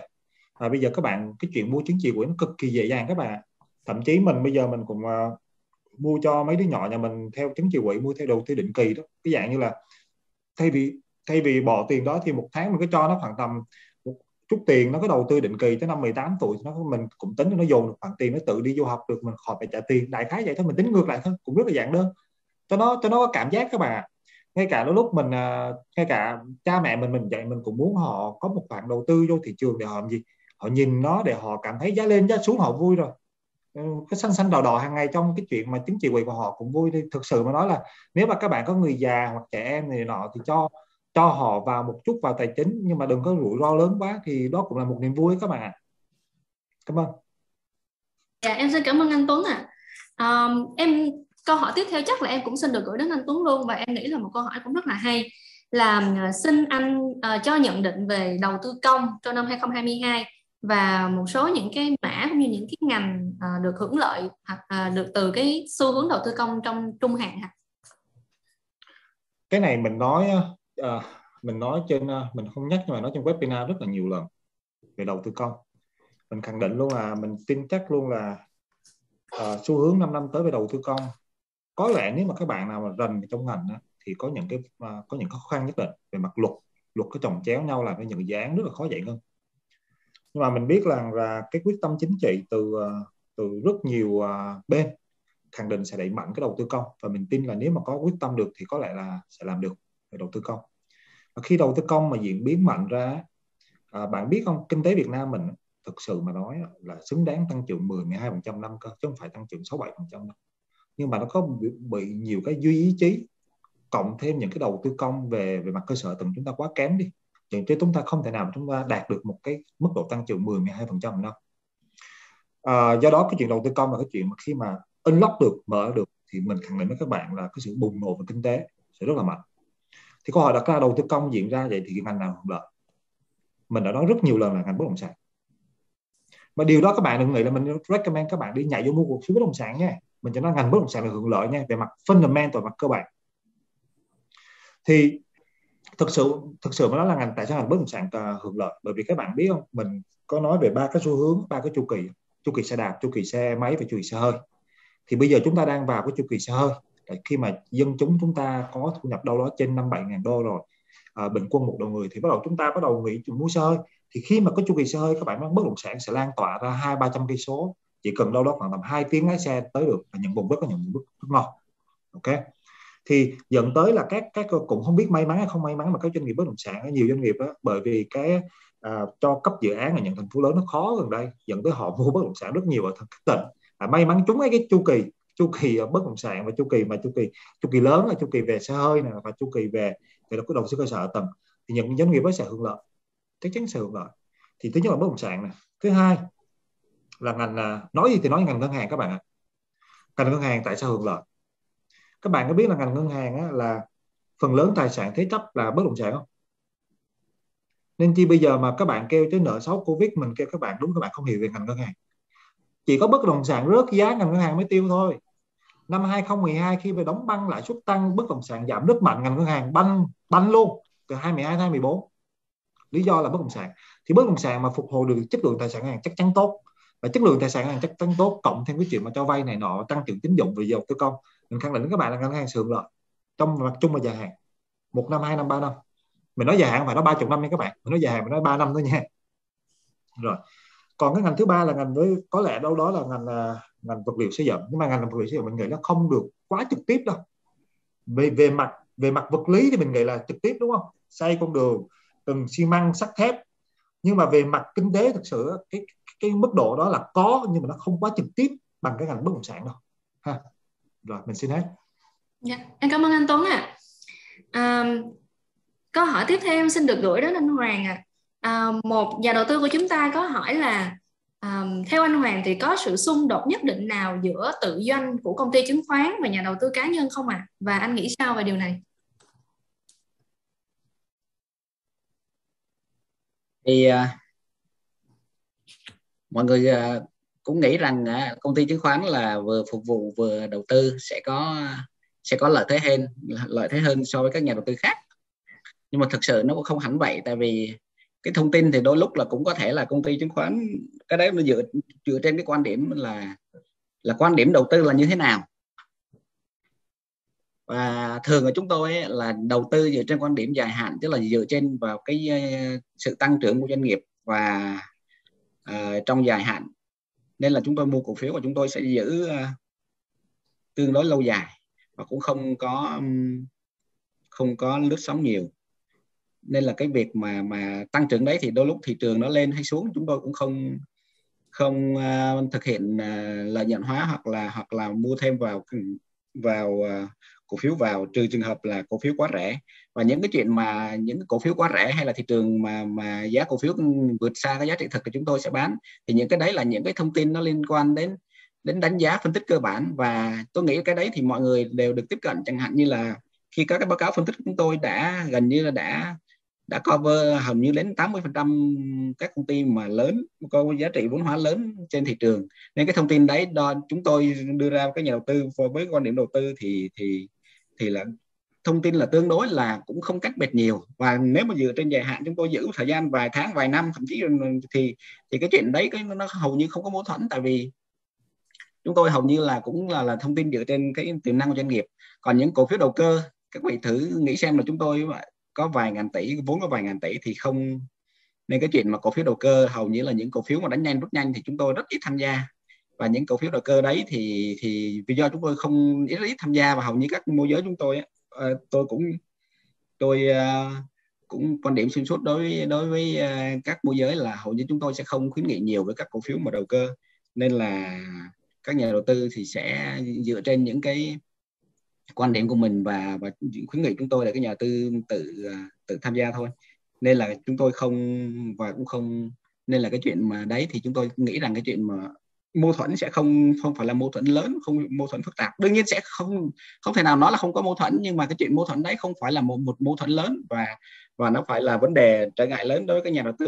Tại vì đối tượng khách hàng chúng tôi là gồm những nhà đầu tư cá nhân cả gần 100 ngàn tài khoản nhà tư cá nhân và có vài ngàn nhà tư tổ chức. Và cái và chúng tôi vừa phục vụ vừa thì trong vòng mười mấy năm qua thì thì uh, các nhìn nhận về uy tín trên thị trường đối với các công ty chứng khoán thì cái chuyện mà mâu thuẫn lợi ích giữa các nhà đầu tư và và chính công ty chứng khoán thì tôi thấy chưa có sự việc nào mà nó nó mang lại một cái uh, mâu thuẫn mà gay gắt đáng kể trong quá trình đầu tư. Và đương nhiên thì thì về cái đấy là thuộc vào uy tín của các công ty chứng khoán. Những công ty chứng khoán mà lớn như chúng tôi thì thì có những cái nguyên tắc mà để hành động và những nguyên tắc để, để đầu tư để đảm bảo rằng thì vì các nhà đầu tư mà mở tài khoản giao dịch ở các công ty chứng khoán một thời gian thì thì các nhà đầu tư sẽ cảm nhận được đâu là những cái tư vấn mà của các công ty môi giới hoặc đâu đó là những tư vấn mà chất lượng phân tích báo cáo phân tích của các ờ, uh, chuyên viên chúng tôi sẽ như thế nào. Và khi chúng tôi quan điểm rằng những nhà đầu tư mà mở tài khoản giao dịch chúng tôi ở thời gian lâu dài mà nếu chúng tất cả mọi người đều được hưởng lợi được kiếm lợi đó, thì mới là nhà đầu tư mà khách hàng đồng hành với chúng tôi trong thời gian lâu. Chứ còn nếu mà có chuyện mà những cái chuyện mà chúng tôi mà làm xong hay là những cái gì chúng tôi mới là đẩy cái phần khó khăn cho nhà đầu tư. Thì rõ ràng nhà đầu tư bây giờ có nhiều lựa chọn mà sẽ không tham gia giao dịch ở chúng tôi mà tham gia giao dịch chỗ khác thôi. Cái đấy nó là nó là về cái cái, cái uy tín lâu dài của các công ty đối với đối với thị trường và đối với nhà đầu tư thôi. À, em xin cảm ơn anh Hoàng ạ. À. um, có một câu hỏi rất là hay và em nghĩ là câu này em sẽ hỏi cả anh Tuấn và anh Phát luôn là à, có một nhà đầu tư hỏi là À, em muốn hỏi hai anh tâm lý đóng vai trò quan trọng đến mức độ nào trong việc đầu tư chứng khoán? Làm thế nào để rèn luyện tâm lý vững vàng trước những biến động liên tục của thị trường? À, em xin mời anh Tuấn và anh Phát ạ. À. Câu hỏi khó cho anh Phát trả lời trước đi. khó anh Tuấn anh để cho tôi rồi. rồi. À, nói chung là tâm lý mà bài này khó quá. Ai vô thị trường cũng muốn uh, lãi à, nói chung là sợ lỗ muốn lãi và sợ lỗ uh, giờ làm sao? Thực sự là trải qua nhiều thì uh, chúng ta khi mà trải qua nhiều thì vấp phải nhìn nhận trở lại. Thì uh, từ đó có những cái kinh nghiệm. Kinh nghiệm là gì? Nhìn lại thấy kinh không? nghiệm lại thấy kinh. Nên là nó trở nên là tâm lý chúng ta nó sẽ vững chãi hơn như là nó chai sạn. À, thì lúc đó chúng ta sẽ đỡ hơn thì ờ, những nhà đầu tư F0 để làm sao để được vượt qua những cái bài này? À, tôi nói ờ, những người đầu tư F0 mới vô tôi mới vô tham gia thị trường có năm nay làm sao tôi có những kinh nghiệm giống như các anh? À, xin quý vị như thế này thì chúng ta có thể tìm đọc sách hoặc là trao đổi với anh Tuấn nhiều hơn. À, thì sẽ hiểu được cái tâm lý khi chúng ta đầu tư nó như thế nào. Chứ không thì cái bài này thì rất là khó khó thật sự. Ờ, uh, tôi nói ờ, gì đó trong sách trong chợ thì trong ờ, diễn đàn ai cũng nói uh, uh, nỗi sợ hãi uh, nỗi sợ hãi. Thì thực sự ai cũng sợ tôi cũng sợ nữa mà. Nhưng mà sợ riết rồi hết sợ rồi. Chai sạn vì đã trải qua cái đoạn đó. Và trải qua nhiều cái cây thông hoặc là trải qua nhiều cái cú sập của thị trường thì chúng tôi biết được tôi đã biết được nó như thế nào. À, nên là tâm lý nó cũng vững chàng hơn. Ờ, và kinh nghiệm. Thì uh, các nhà đầu tư thì tôi theo cái kinh nghiệm cá nhân của tôi thôi. Tôi làm cái gì tôi đều ghi lại trên hết. Tôi tôi thắng tôi cũng ghi tôi sai tôi cũng ghi. Tôi ghi lại để ờ, cái đó là một cái bài học kinh nghiệm. À, và nhìn qua à, trong cái giai đoạn đó ví dụ tôi mua một cái cổ phiếu đó tại sao tôi thắng? À, tại sao tôi thua? Rồi cái khi mà ví dụ như bị đổ lái đẩy giá cổ phiếu hoặc là cổ phiếu có một cái thông tin tốt những cổ phiếu cơ bản cũng như vậy có những thông tin tốt mà bây giờ mình mua vào nó không tăng được rồi sau đó tâm lý mình sợ sợ thị trường nó sụp đổ như vậy thì mình phải làm gì thì chúng ta cần phải ghi lại hết tất cả à, nó cũng ờ, có nó cũng không nhiều đâu ạ à. nó cũng không nhiều đâu nó cũng quay quẩn đâu đó đâu mà ừ đấy à, nó cũng giống như là nói chung là chúng ta cần phải có những cái phân tích kỹ thuật. À, nhà đầu tư phải có phân tích kỹ thuật. Phân tích kỹ thuật là nó biểu hiện trên đó là những cái gì? Um, tâm lý nó thể hiện trên biểu đồ rồi đó. Nó cũng là một phần như vậy. Thì chúng tôi tôi thì cũng, cũng tham khảo về à, phân tích kỹ thuật về xem là von khối lượng để làm sao áp chế những cái tâm lý của mình.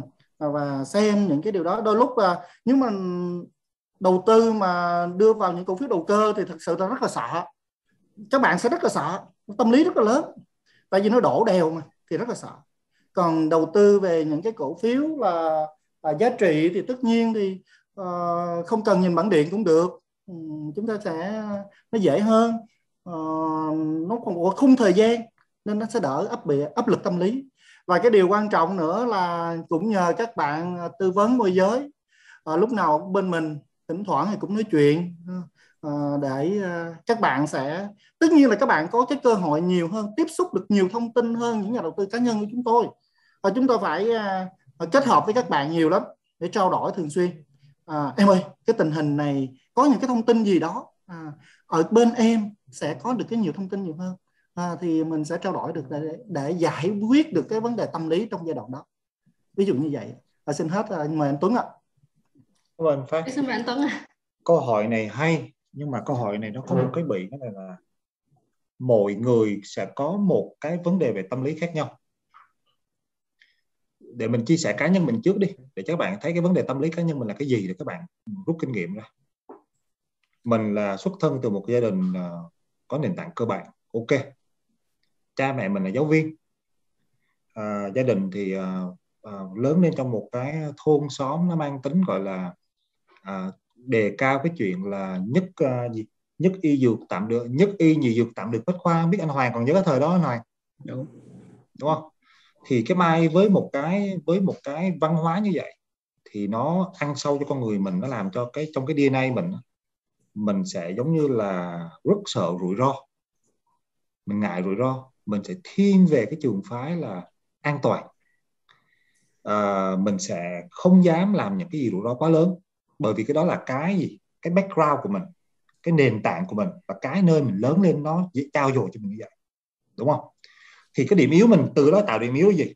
Điểm yếu là nói ra đâu đó là nó tạo ra một cái gọi là cái cái này, mình nói cái này không có từ hay hơn mình nói gì đi, là cái trap của middle class. Cái trap là gì? Là mình bị gắn vô trong một cái cái là cái mindset, cái cái tư tưởng của tầng lớp trung lưu do đó khi mà tư tưởng tầng lớp trung lưu có nghĩa là gì là mình rất sợ cái chuyện mà uh, thứ nhất là giả sử như kiếm tiền quá nhanh là mình mình sẽ ngạc nhiên. Các bạn hiểu không? Khi mà có trong cái đi này đâu đâu đó nó có kiếm tiền mà bực một cái mà nó lên kiếm đâu 50 tỷ một lần là mình rất là sợ. Hoặc là mình mất 5 tỷ một lần là mình rất là sợ. Đại khái vậy. Các các bạn hiểu ý mình không? Thì cái đó nghĩa là gì? Cái đó là tâm lý yếu của mình. Điểm đó thì mình phải bắt đầu cái gì?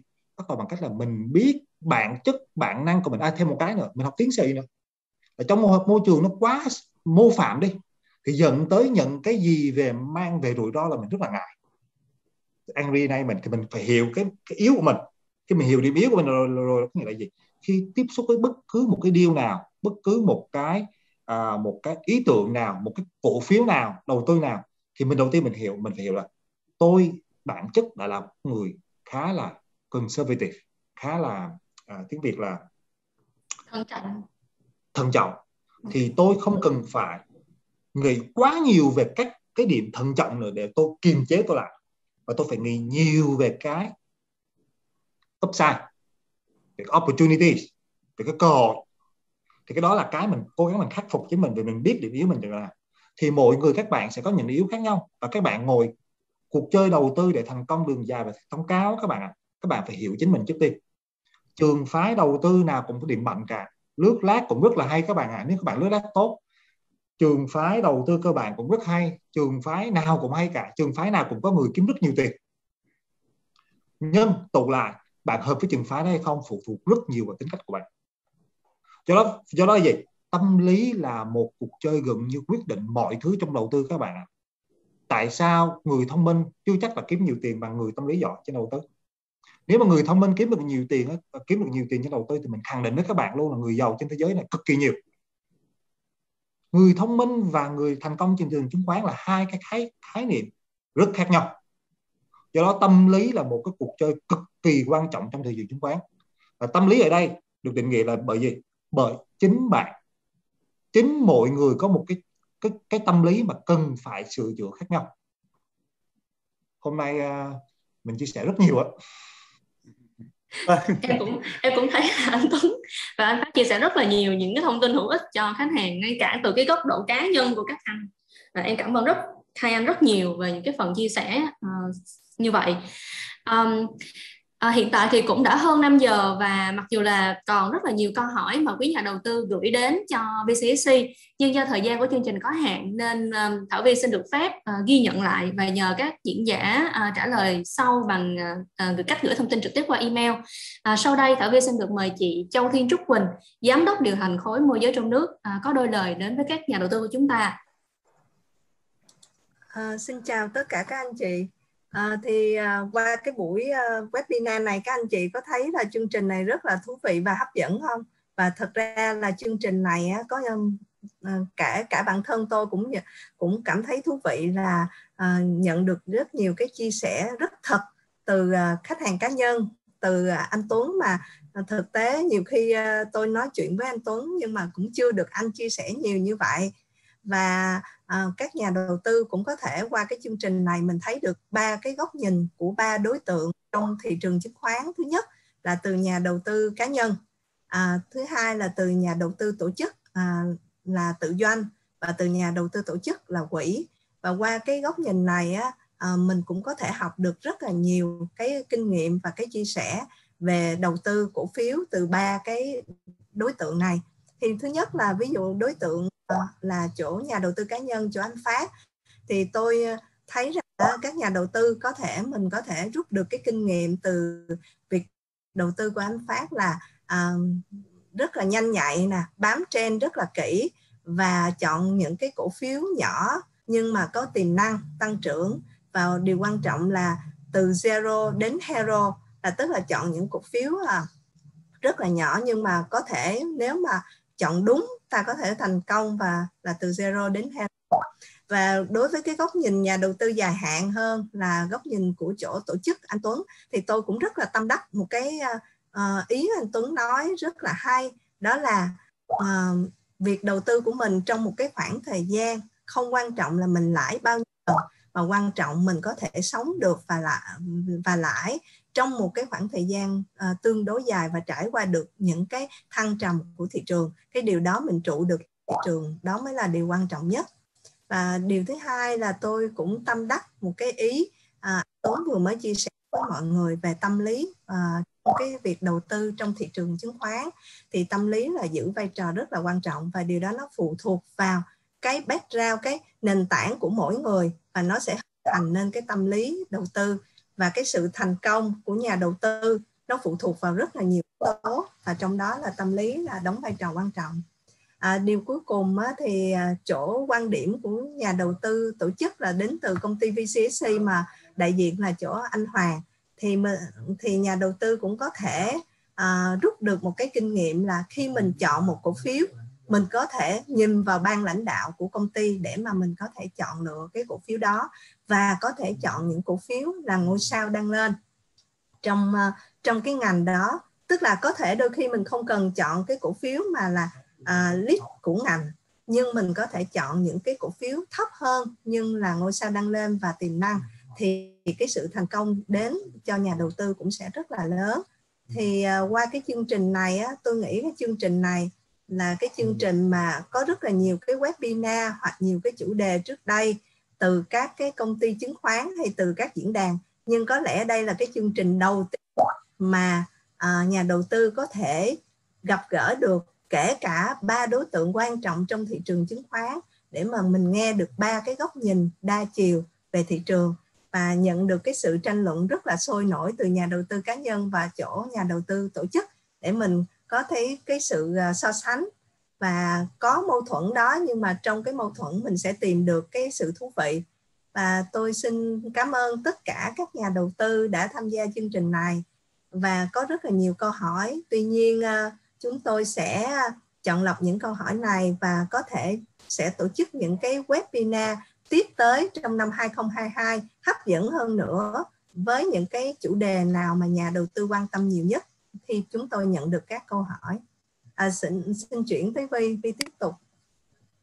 Dạ em xin cảm ơn chị Quỳnh ạ. À. à, kính vị à, sau đây là đã xong chúng ta đã xong cái phần thảo luận chính của cái buổi webinar của chúng ta ngày hôm nay. À, một lần nữa à, thay mặt cho công ty chứng khoán bản Việt à, Thảo Việt xin trân trọng cảm ơn sự tham gia của anh Tuấn, anh Phát, anh Hoàng cũng như là chị Quỳnh à, đã tham gia thảo luận và chia sẻ với các nhà đầu tư của chúng ta ngày hôm nay à, phần cuối cùng của chương trình à, như đã hứa từ những cái webinar trước à, chúng tôi xin được phép à, có một cái à, màn quay số ngẫu nhiên để lựa chọn ra 19 hàng may mắn khi tham gia chương trình webinar à, của VCSC trong suốt thời gian qua. À, một lần nữa em xin cảm ơn à, các khách mời của chúng ta đã tham dự ngày hôm nay ạ. À. À, và Thảo Vi xin mời à, tổ hậu cần chúng ta cho à, hiển thị à, vòng quay may mắn của chúng ta ngày hôm nay và Thảo Vi xin được phép à, quay số à, ngẫu nhiên để chọn ra 14 19 khách hàng may mắn à, đã tham gia chương trình webinar của chúng ta trong suốt thời gian qua. À, xin mời ban tổ chức ạ.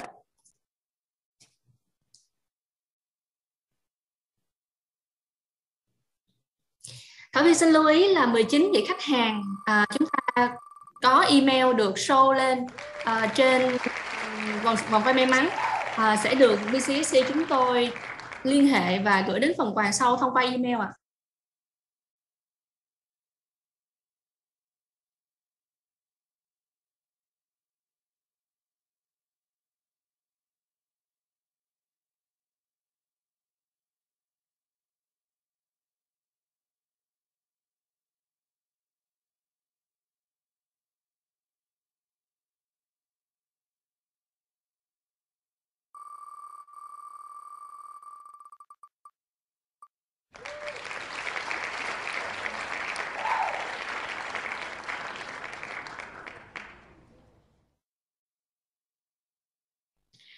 Chúng tôi xin được phép quay số thứ ba.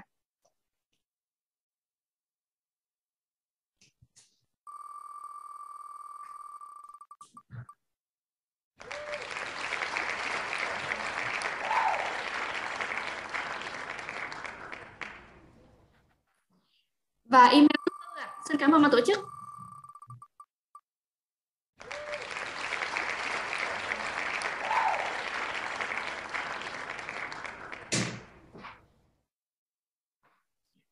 Xin mời email thứ năm ạ. À.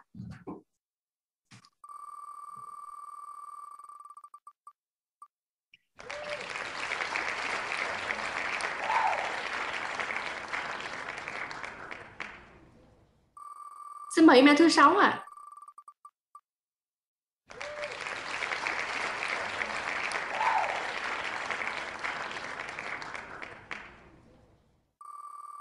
Xin mời email thứ bảy ạ. À.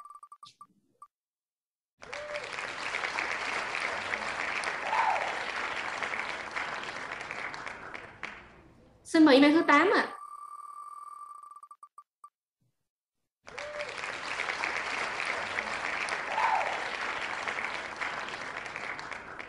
Xin mời email thứ 9 ạ. À.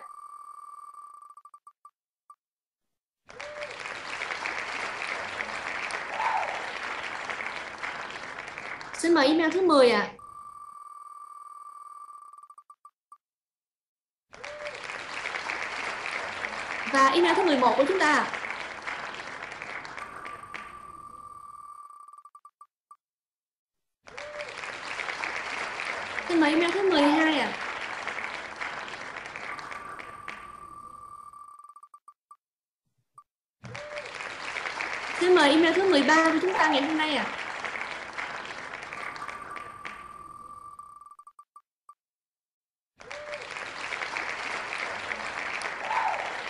mời email thứ 14 ạ. À.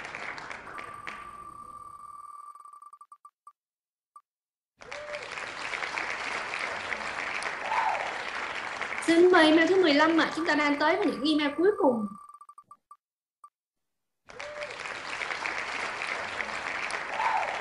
Xin mời email thứ 16 ạ. À.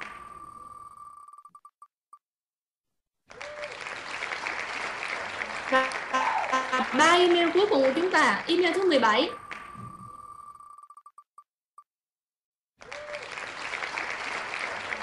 email thứ 18 mà.